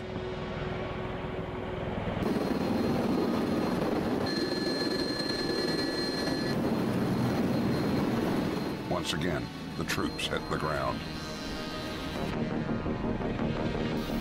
The Ospreys wait while the infantry forces close in on the cave. But it's a dry hole. If it has been used as a weapons storage facility, it's now been emptied. Frustrated, the infantry forces return to the Ospreys that again take to the air to continue the search. With so many aircraft, the challenges that the mission commanders and pilots studied so closely in their planning are always present. Question of deconfliction, avoiding crashing into each other like the planes in the tragic mission into Iran a quarter of a century ago. Out here, it's no longer history, it's the real thing. Throughout the day, they fly up and down the border, smoothly integrating with other aircraft. As they return to base, it's been two days of combat operations. And it's been a long two days. For the pilots, it's been tough flying. For the crews, it's been an exhausting mission. They have faced several tough tests. But the men, women, and the aircraft have met them all despite coming up empty-handed against the unseen enemy. Despite the hardships, it's been a smooth operation. The Ospreys have proved they are ready for combat. They can get troops where they need to go. They can do it in the toughest environment. And all along, the Osprey's technology has proved vitally important. The aircraft that some claimed could be a disaster in a war zone like Iraq, simply performing smoothly and without incident has become a benchmark of success. These Ospreys have risen to the challenge, proving that their attributes far outweigh their past failures, most of which are now more than a decade old. The men and women of the squadron feel good about what they have done. But they will soon get a report card from their ultimate authority, in person.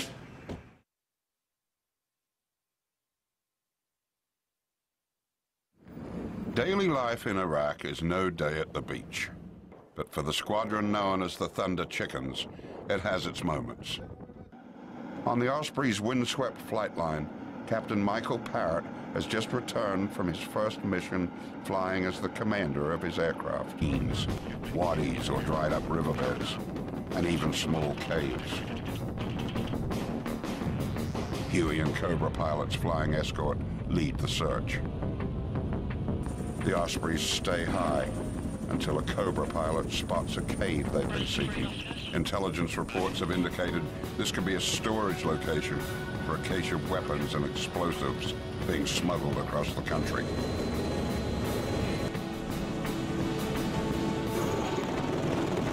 Once again, it's time for the Ospreys to bring in the infantry.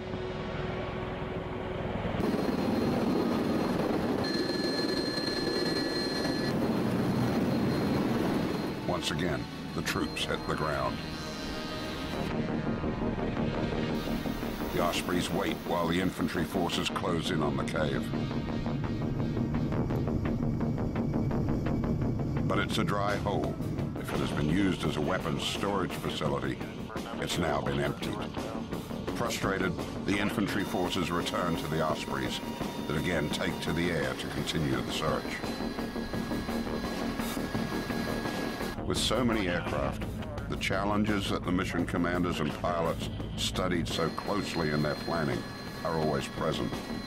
The question of deconfliction, avoiding crashing into each other like the planes in the tragic mission into Iran a quarter of a century ago. Out here, it's no longer history, it's the real thing. Throughout the day, they fly up and down the border, smoothly integrating with other aircraft. As they return to base, it's been two days of combat operations. And it's been a long two days. For the pilots, it's been tough flying. For the crews, it's been an exhausting mission. They have faced several tough tests. But the men, women, and the aircraft have met them all.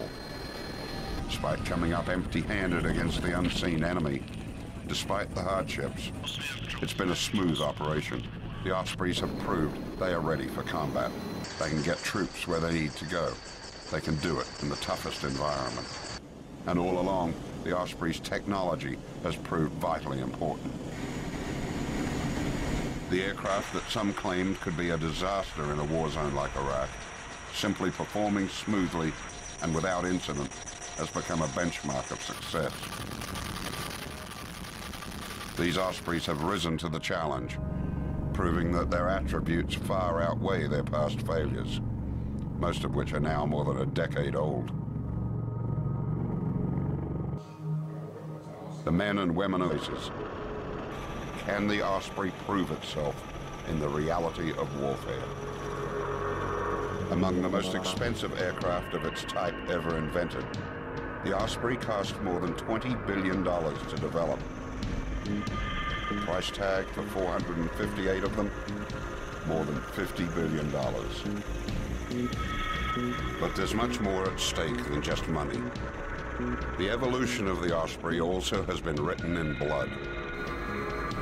30 men died in notorious crashes of the Osprey in the two decades it took to develop. Can the Osprey escape its dark past?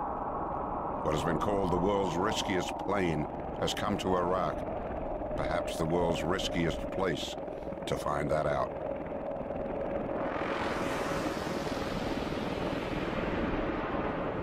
When you're trying to advance, you know, when you're trying to do something revolutionary and bring a, a tremendous capability like that, it's not without pitfalls and risks. Yeah, this is this is an aircraft that's had an extended developmental history, and it is a it is a revolutionary technology, and it's different, and it scares people. The squadron's assistant operations officer, Major Wes Spade, is on his second tour in Iraq. The Ospreys have been at the Al Asad base for four weeks, and Spade is coordinating plans to take infantry troops into combat. But he has to face concerns the ground forces have about the aircraft. We realize this is a new platform, this is a new capability. Uh, there will be some, uh, uh, some, some growing pains. Get, there will be some, uh, you know, some anxieties. The nacelles will always be there. So, you know, we want to make everyone uh, aware of the capability, but we're not, you know, certainly don't want to, uh, don't want to force it on anyone. So Spade must tackle things one step at a time. We wanted to get daily operations in and around, you know, our base and the airfield. You know, that, that was our first priority. And the best way to do that is just provide general support uh, to, to Marine sailors, soldiers, basic logistics movement, you know, movement of, of personnel and gear uh, from one forward operating base to another. Uh, you know, airfields in and around from our home base at Al Asad all the way to the furthest reaches of Iraq out to the west, and then into uh, you know areas like Baghdad. Certainly, we've shown to be very capable of doing that. But despite these achievements, there is still a reluctance to actually send the Osprey on a tactical mission. It's just that we don't have our established role yet. We knew coming in, we could think we're going to do certain things, and we prepared to do certain things, but you never really know what exactly you're going to do until people start asking you to use it. The job is find out, because you support the infantry, the ground combat element, what do they want? How do you get them what they want? The most difficult thing about being an Osprey pilot or plane mode. Then rotating their nacelles, the equipment that changes them from planes into helicopters, they make the final descent. As they land, the environment fights back. Like any helicopter landing in this desert, the Osprey's giant blades stir up a blizzard of flying sand and dust. It is the type of situation that can turn deadly. It can blind or disorient pilots and the crews guiding them down. But the Osprey has a sophisticated computerized control system that comes to the rescue. For the hover couple, the system links with an onboard global positioning system, or GPS, to automatically read the plane's position and height and help land the aircraft for the pilot. Once safely on the ground, the Osprey pilots have another technical advantage. The Thick sand wraps around them and threatens to blind the ground troops as they disembark. The pilots engage the nacelles to blow away the sandstorm. Once it's clear, the Marines' infantry forces hit the ground quickly, fanning out around the village. They will stay on here as the Ospreys again take to the skies and return to base. Security in Anbar province has improved enormously since the first Marines arrived here in 2004, but the enemy is still a serious threat in this region. Sending the squadron on these missions, the commanding general of Al-Asad is determined to turn the tables. There is still an active enemy out there, but we maintain a high operational tempo in support of all the actions here in order to keep continuous pressure on it. We want Al Anbar to be a dangerous place for a foreign fighter or for an insurgent.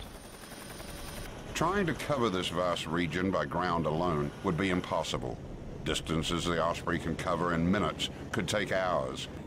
And here, the Osprey also outstrips helicopters. The Osprey's strengths, speeds of more than 300 miles an hour and range of more than 1,000 miles without refueling, come into play. It may fly at the speed of a plane, yet it can land at locations no plane can approach. Day two of their first ground combat missions begins. They are flying more than 40 infantry troops to the far west of the war zone to scour the border of Iraq and Syria. This is notorious territory. It has been a well-known route for smugglers and bandits for centuries. Today, insurgents are coming this way. This operation includes a small armada of aircraft. Growing pains, get, there will be some, uh, you know, some anxieties. The cells will always be up, right? So, you know, we want to make everyone uh, aware of the capability, but we're not, you know, certainly don't want to, uh, don't want to force it on anyone. So Spade must tackle things one step at a time. We wanted to get daily operations in and around you know, our base and the airfield, you know, that, that was our first priority. And the best way to do that is just provide general support uh, to, to Marine sailors, soldiers, basic logistics movement, you know, movement of, of personnel and gear uh, from one forward operating base to another. Uh, you know, airfields in and around from our home base at Al-Asad all the way to the furthest reaches of Iraq out to the west, and then into, uh, you know, areas like Baghdad. Certainly we've shown to be very capable of doing that. But despite these achievements, there is still a reluctance to actually send the Osprey on a tactical mission. It's just that we don't have our established role yet. We knew coming in, we could think we're going to do certain things, and we prepared to do certain things, but you never really know what exactly you're going to do until people start asking you to use it. The job is find out, because you support the infantry, the ground combat element, what do they want? How do you get them what they want? The most difficult thing about being an Osprey pilot or in the Osprey community is having to reestablish ourselves to to fight just to be accepted as a part of the team is uh, very difficult. We want to help the mission, we want to save lives, we want to fight the good fight, but we have to get through the established norms. We have to help people see us as not outside the paradigm, but perhaps a better portion of a new paradigm and a helicopter is contained in huge devices known as nacelles, pieces of equipment that sit like pods on the wings outside the plane and just behind the cockpit. The nacelles are what move the blades back and forth into different positions, up as a helicopter, down as a plane. As far as the nacelles themselves rolling up and down, there's a giant screw run by a hydraulic motor. Once again, electronically controlled from the cockpit. Wherever they request them, the screw turns and, and moves the nacelles up and down. What is perhaps most stunning is that the pilot does it all with the touch of a button, a very tiny button, no bigger than a quarter, that moves the 7,000 pound nacelles that change the Osprey from a helicopter into a plane and back again. The button is known as a thumb wheel. This 7,000 plus pound nacelle with a 38 foot diameter rotor system is completely controlled by a thumb wheel. Your hand rests on the thrust control lever, just kind of like that. And your thumb naturally falls on a thumb wheel. It's an extraordinarily powerful control surface, all controlled via this tiny little button. One section was going in uh, to put some Marines in while the second section was holding because we were going in to, to help with the extract. From a couple of miles back, Rock saw everything start to go wrong. You could absolutely see what was going on. We got a little side view mirror in the cockpit, and the first thing I saw was a reflected flash of that. I will never, I, ne I don't ever see light in my rearview mirror uh, at night anymore and not think about that night. That crash was blamed on pilot error. But the crash in December 2000 was caused by faulty wiring and possible design flaws. The program was put on hold. At first, investigators thought that the nacelles, the essence of the Osprey's function, would have to be reinvented. There's no doubt about it. The aircraft was, was this close to not happening anymore. If they hadn't figured that out, again, the, uh, the impression was you know, the program may have been canceled. In time, investigators and engineers found ways to fix those technical problems and save the program. But the Osprey's bad reputation hung on and began to be automatically attached to any mention of it in the media. It was inevitably described as the troubled V-22 Osprey. Today, these pilots and crews are now ready to go. After flying and working on the Osprey for two years, they want to put the memories of the tragedies behind them. Despite the old track record, they say, the Osprey's day has come. In fact, those whose lives depend on the Osprey are now its strongest defenders. We all have families. I have three kids. I have a beautiful wife. I, you know, none of us have any desire to be flying an aircraft that we think is going to kill us. But as much as the commander and his pilots support the Osprey V-22, can the aircraft survive its naysayers? Those who would judge the plane on its troubled past and not its potential. Even worse, could they cancel the Osprey's future before it even sees combat?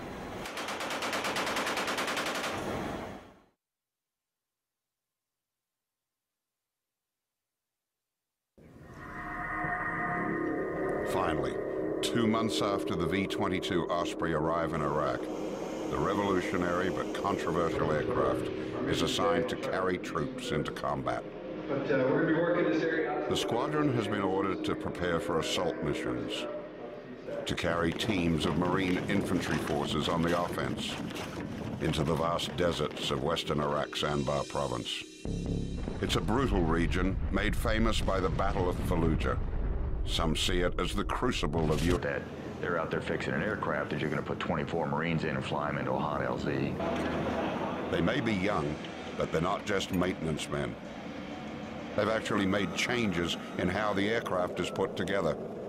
And when we got this, there was a lot of things that they actually took our word for it, looked at it, evaluated it, changed it, and, you know, they started seeing the logic of it and why we came up with those ideas. To actually realize that something you saw that you were like, hey, that could be better, and you say that and they actually do it. Some of that actually, it turned out pretty cool. Uh, my father's exact words is that I'll be a part of history. I'll be able to work on something that's going to revolutionize the Marine Corps and the way we do things. It's a job they take very seriously. A lot of us sit there and joke that every time one of these birds go up, it's running off of our own blood, sweat, and tears, and that's exactly how it is. We've been on it for most of us for quite a few years, and we worked on it so hard that this is our family, and these are our children. and it's it was pro- it was probably the proudest moment of my life seeing it land on this flight line out here in Iraq. But these youngsters also have some high-powered veterans they can turn to. Jerry Greer and John Allen are two of the 14 engineers and mechanics assigned to the squadron from the company that invented, devised, and manufactured the Osprey. With a chance to take a new aircraft into, into combat for the first time and to prove what this aircraft can do was something I didn't want to miss. You know, everybody always jokes that Jerry invented the V-22. He's, he's been around it since 88. And Jerry is still excited about the Osprey. It's uh, got stuff in it that's never been done on any other aircraft. I don't know, I think it's pretty cool. It's definitely different. I mean, just even coming here, people see the airplane and they, they just do not know what they're looking at. Uh, so yeah, the G-Wiz factor is fairly high. By design, the Osprey lives up to its reputation as both a helicopter and a plane. What are rotors on takeoff become airplane props in the air. Basically, is it an airplane? Is it a helicopter? It is, uh, it is both and neither. In fact, the Osprey has incorporated some of the best attributes of both helicopters and fixed-wing aircraft. Its greatest strength is speed, which is more like an airplane's than a helicopter's. While the world's fastest helicopter has reached a speed of 249 miles per hour, the Osprey can top it at 360 miles per hour with a cruising speed of 317. Like a first-class race car, the Osprey's horsepower is awesome. Each of its two engines puts out 6,100 horsepower, almost double the power of most helicopters. Another advantage, the Osprey can fly more than a thousand miles without past. What has been called the world's riskiest plane has come to Iraq, perhaps the world's riskiest place to find that out.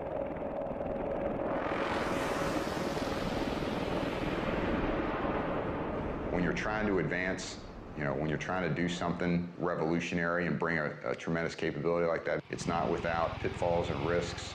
Yeah, this is this is an aircraft that's had an extended developmental history, and it is a it is a revolutionary technology, and it's different, and it scares people. The squadron's assistant operations officer, Major Wes Spade, is on his second tour in Iraq. The Ospreys have been at the Al Asad base for four weeks, and Spade is coordinating plans to take infantry troops into combat. But he has to face concerns the ground forces have about the aircraft. We realize this is a new platform, this is a new capability. Uh, there will be some, uh, uh, some, some growing pains. Get, there will be some, uh, you know, some anxieties. The nacelles will always be there, so you know we want to make everyone uh, aware of the capability, but we're not, you know, certainly don't want to uh, don't want to force it on anyone. So Spade must tackle things one step at a time. We wanted to get daily operations in and around, you know, our base and the airfield. You know, that, that was our first priority. And the best way to do that is just provide general support uh, to, to Marine sailors, soldiers, basic logistics movement, you know, movement of, of personnel and gear uh, from one forward operating base to another. Uh, you know, airfields in and around from our home base at Al Asad all the way to the furthest reaches of Iraq out to the west, and then into uh, you know areas like Baghdad. Certainly, we've shown to be very capable of doing that. But despite these achievements, there is still a reluctance to actually send the Osprey on a tactical mission. It's just that we don't have our established role yet. We knew coming in, we could think we're going to do certain things, and we prepared to do certain things, but you never really know what exactly you're going to do until people start asking you to use it. The job is find out, because you support the infantry, the ground combat element, what do they want? How do you get them what they want?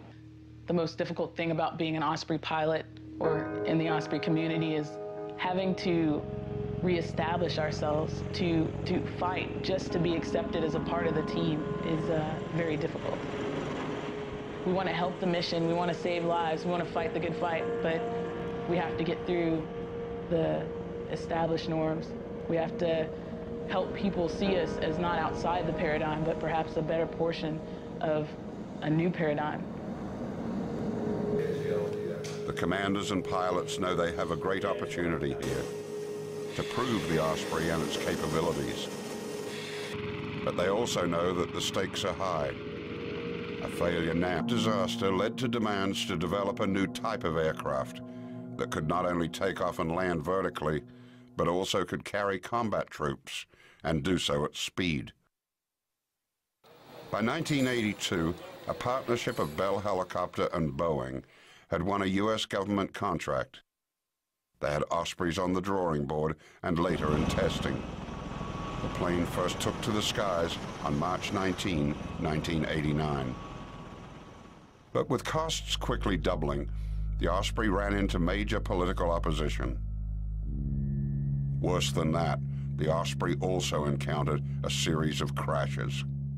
The first crash occurred in 1991, with all crew members miraculously escaping alive. In 1992, a second crash killed nine on board, four Marines and five civilians. But the worst was yet to come. In another eight years, there would be two more crashes, killing 23 Marines. Well, I mean, if you're going to talk tough times, uh, it would probably, at least in my experience, begin with the, the mishap in, uh, in Arizona, in Marana, Arizona, in April 2000. Uh, you know, that with, uh, combined with the mishap later in the year in December of 2000, right there in eastern North Carolina, uh, I mean, both, you know, tremendous tragedies in and of themselves, both you know, aircraft were full with, of friends of mine.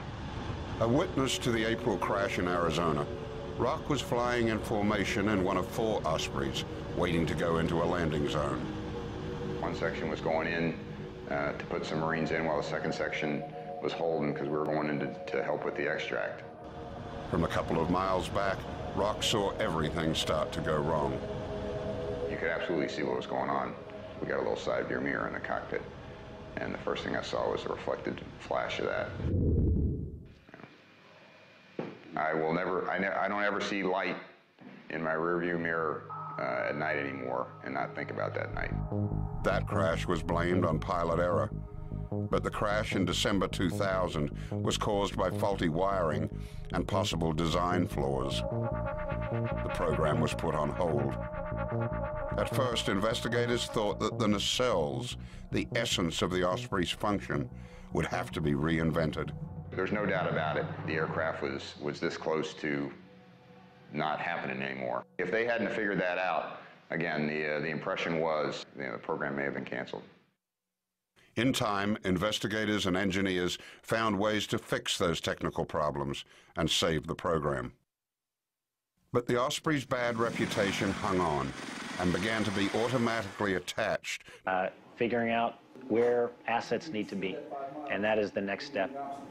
You can deconflict by altitude, by time, or by lateral, just by slapping a boundary down. Hey, you own this side, I own that side. This aerial ballet, and uh, which is what, it, what it's going to work out to be tomorrow. And I know we'll do well, but just remember that the reason we're out there is to interdict, disrupt, and conduct, uh, you know, scouting and screening. And, um, and I think I think we're going to learn a lot tomorrow uh, out there. The moment of truth is fast approaching. Tensions are high. It has taken decades to get to this point, but the squadron knows the morning will come quickly.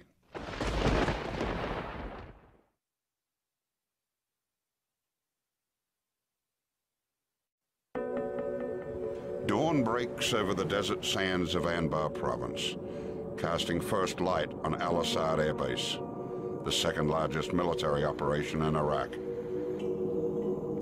In hangars along a helicopter flight line, members of a squadron known as the Thunder Chickens have been working through the night to ensure that 10 Osprey aircraft are in top shape.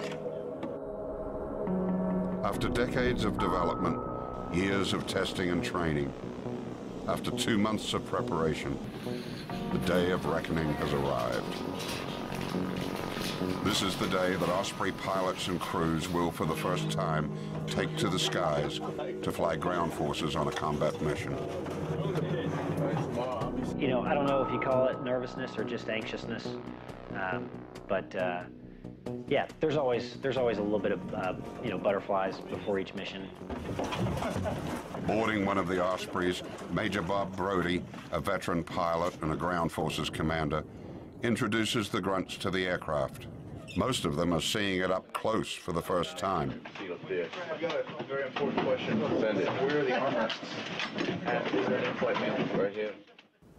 Those of you that have not ridden on this aircraft, it is a sporty ride, and it's much different than from the uh, from the 53. 53 kind of comes down when it goes forward. It kind of leans forward. This this is an airplane for uh, for all intents and purposes. So when they pull out of that zone, you're gonna feel a lot of acceleration. So here's the last thing, gents. Obviously, everything goes uh, goes sour on us. We need to start fighting. You just take care of business and don't worry about anything. All right, you just start taking care of that target. This is an aircraft unlike anything they've flown in before. Again, I can't uh, I can't overemphasize the uh, the acceleration and deceleration. All right, we're going to accelerate you know rather rapidly. So make sure you grab on everything that you've got. Okay, try to strap it in. You guys definitely need to be strapped in.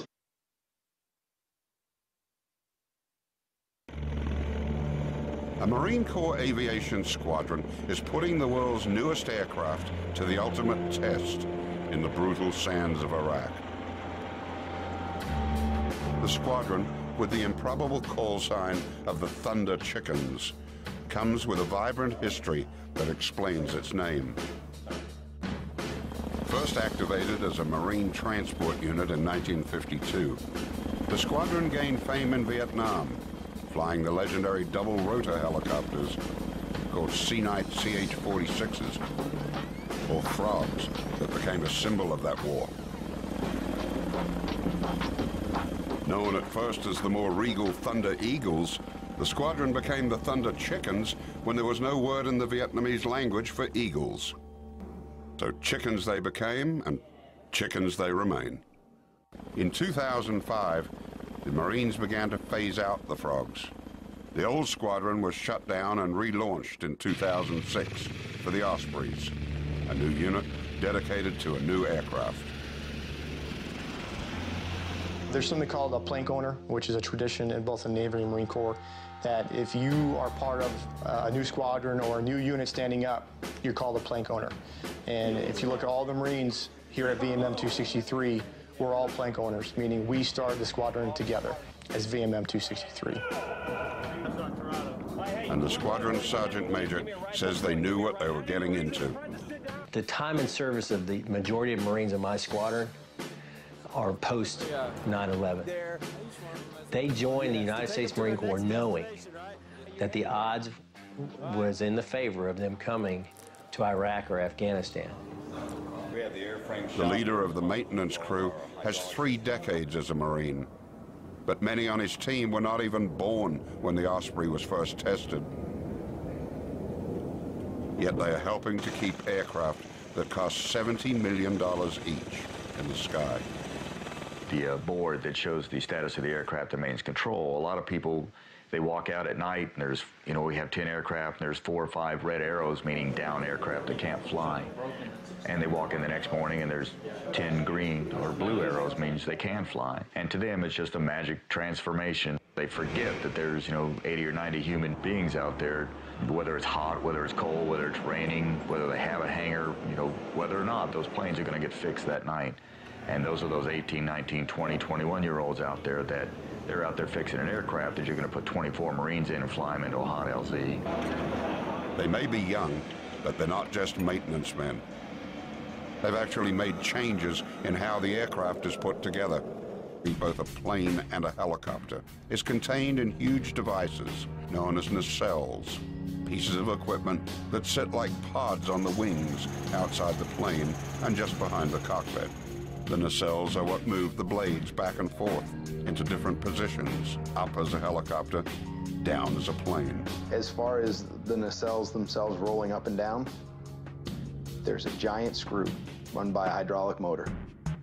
Once again, electronically controlled from the cockpit. Wherever they request them, the screw turns and, and moves the nacelles up and down. What is perhaps most stunning is that the pilot does it all with the touch of a button, a very tiny button no bigger than a quarter, that moved the 7,000 pound nacelles that changed the Osprey from a helicopter into a plane and back again. The button is known as a thumb wheel. This 7,000 plus pound nacelle with a 38 foot diameter rotor system is completely controlled by a thumb wheel. Your hand rests on the thrust control lever, just kind of like that. And your thumb naturally falls on a thumb wheel. It's an extraordinarily powerful control surface, all controlled via this tiny little button. Kind of a standing joke that, that we have when guys, uh, pilots are wrestling around, you know, we always protect our left thumb because if that goes down, then, you know, then the, then the pilot's hard down. In the practiced hands of Marine Squadron VMM 263, the Osprey now stands poised for duty in the desert sands of Iraq. More than 20 years ago, in another desert not far away, the idea for the Osprey was born. In 1979, more than 3,000 extremist students in Iran seized the U.S. Embassy. Then President Jimmy Carter ordered a mission to rescue 66 hostages. Planning for this rescue effort began shortly after our embassy was seized. But the mission was a disaster, ending in aircraft crashing in southern Iran at a remote location codenamed Desert One. To my deep regret, eight of the crewmen of the two aircraft were killed. That disaster led to demands to develop a new type of aircraft that could not only take off and land vertically, but also could carry combat troops and do so at speed. By 1982, a partnership of Bell Helicopter and Boeing had won a U.S. government contract. They had Ospreys on the drawing board and later in testing. The plane first took to the skies on March 19, 1989. But with costs quickly doubling, the Osprey ran into major political opposition. Worse than that, the Osprey also encountered a series of crashes. The first nacelles are what move the blades back and forth into different positions, up as a helicopter, down as a plane. As far as the nacelles themselves rolling up and down, there's a giant screw run by a hydraulic motor. Once again, electronically controlled from the cockpit. Wherever they request them, the screw turns and, and moves the nacelles up and down. What is perhaps most stunning is that the pilot does it all with the touch of a button, a very tiny button no bigger than a quarter, that moved the 7,000 pound nacelles that changed the Osprey from a helicopter into a plane and back again. The button is known as a thumb wheel. This 7,000 plus pound nacelle with a 38 foot diameter rotor system is completely controlled by a thumb wheel. Your hand rests on the thrust control lever, just kind of like that. And your thumb naturally falls on a thumb wheel. It's an extraordinarily powerful control surface, all controlled via this tiny little button kind of a standing joke that, that we have when guys, uh, pilots are wrestling around. You know, we always protect our left thumb because if that goes down, then, you know, then the, then the pilot's hard down. In the practiced hands of Marine Squadron VMM 263, the Osprey now stands poised for duty in the desert sands of Iraq. More than 20 years ago, in another desert not far away, the idea for the Osprey was born. In 1979, more than 3,000 extremist students in Iran seized the U.S. Embassy. Then President Jimmy Carter ordered a mission to rescue 66 hostages. Planning for this rescue effort began shortly after our embassy was seized. But the mission was a disaster, ending in aircraft crashing in southern Iran at a remote location codenamed Desert One. To my deep regret, Eight of the crewmen of the two aircraft were killed. That disaster led to demands to develop a new type of aircraft that could not only take off and land vertically, but also could carry combat troops and do so at speed. By 1982, a partnership of Bell Helicopter and Boeing had won a U.S. government contract. They had Ospreys on the drawing board and later in testing. The plane first took to the skies on March 19, 1989. But with costs quickly doubling, the Osprey ran into major political opposition. Worse than that, the Osprey also encountered a series of crashes. The first crash occurred in 1991, with all crew members miraculously escaping alive.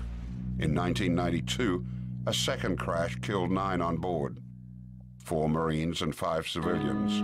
The Ospreys lacked the ability to auto-rotate, an emergency maneuver executed by helicopter pilots if their engines fail. In auto-rotation, a pilot uses downdraft to get the rotors spinning as fast as possible to regain control of an aircraft and soften a crash landing. Because of its different design, the Osprey can't do this maneuver. But the team is confident they don't need auto-rotation. With its awesome horsepower, the Osprey can fly on one of its two engines in an emergency. And the chances of having two engines stop working at the same time are minuscule. I can't imagine both engines, you know, uh, receiving battle damage at the same time. Uh, you know, if you if both engines are shot up, you probably have other issues, and auto rotation is probably the last thing you're going to have to think about. But there are other problems. In part because of its speed, one of the real challenges will be how to fly the Osprey at safe distances from other aircraft. Deconfliction or keeping space between all the aircraft on the missions to avoid collisions is an object of concern. Deconfliction and working uh, and operating around other aircraft, uh, it, you know, it is, it's, it's a serious business. It, it's uh, honestly a meeting of the minds. It's a roundtable discussion, uh, figuring out where assets need to be, and that is the next step. You can deconflict by altitude, by time, or by lateral, just by slapping a boundary down. Hey, you own this side, I own that side. This aerial ballet, and uh, which is what it what it's going to work out to be tomorrow. And I know we'll do well, but just remember that the reason we're out there is to interdict, disrupt, and conduct, uh, you know, scouting and screening. And um, I think we're going to learn a lot. The moment of truth is fast approaching. Tensions are high. It has taken decades to get to this point, but the squadron knows the morning will come quickly.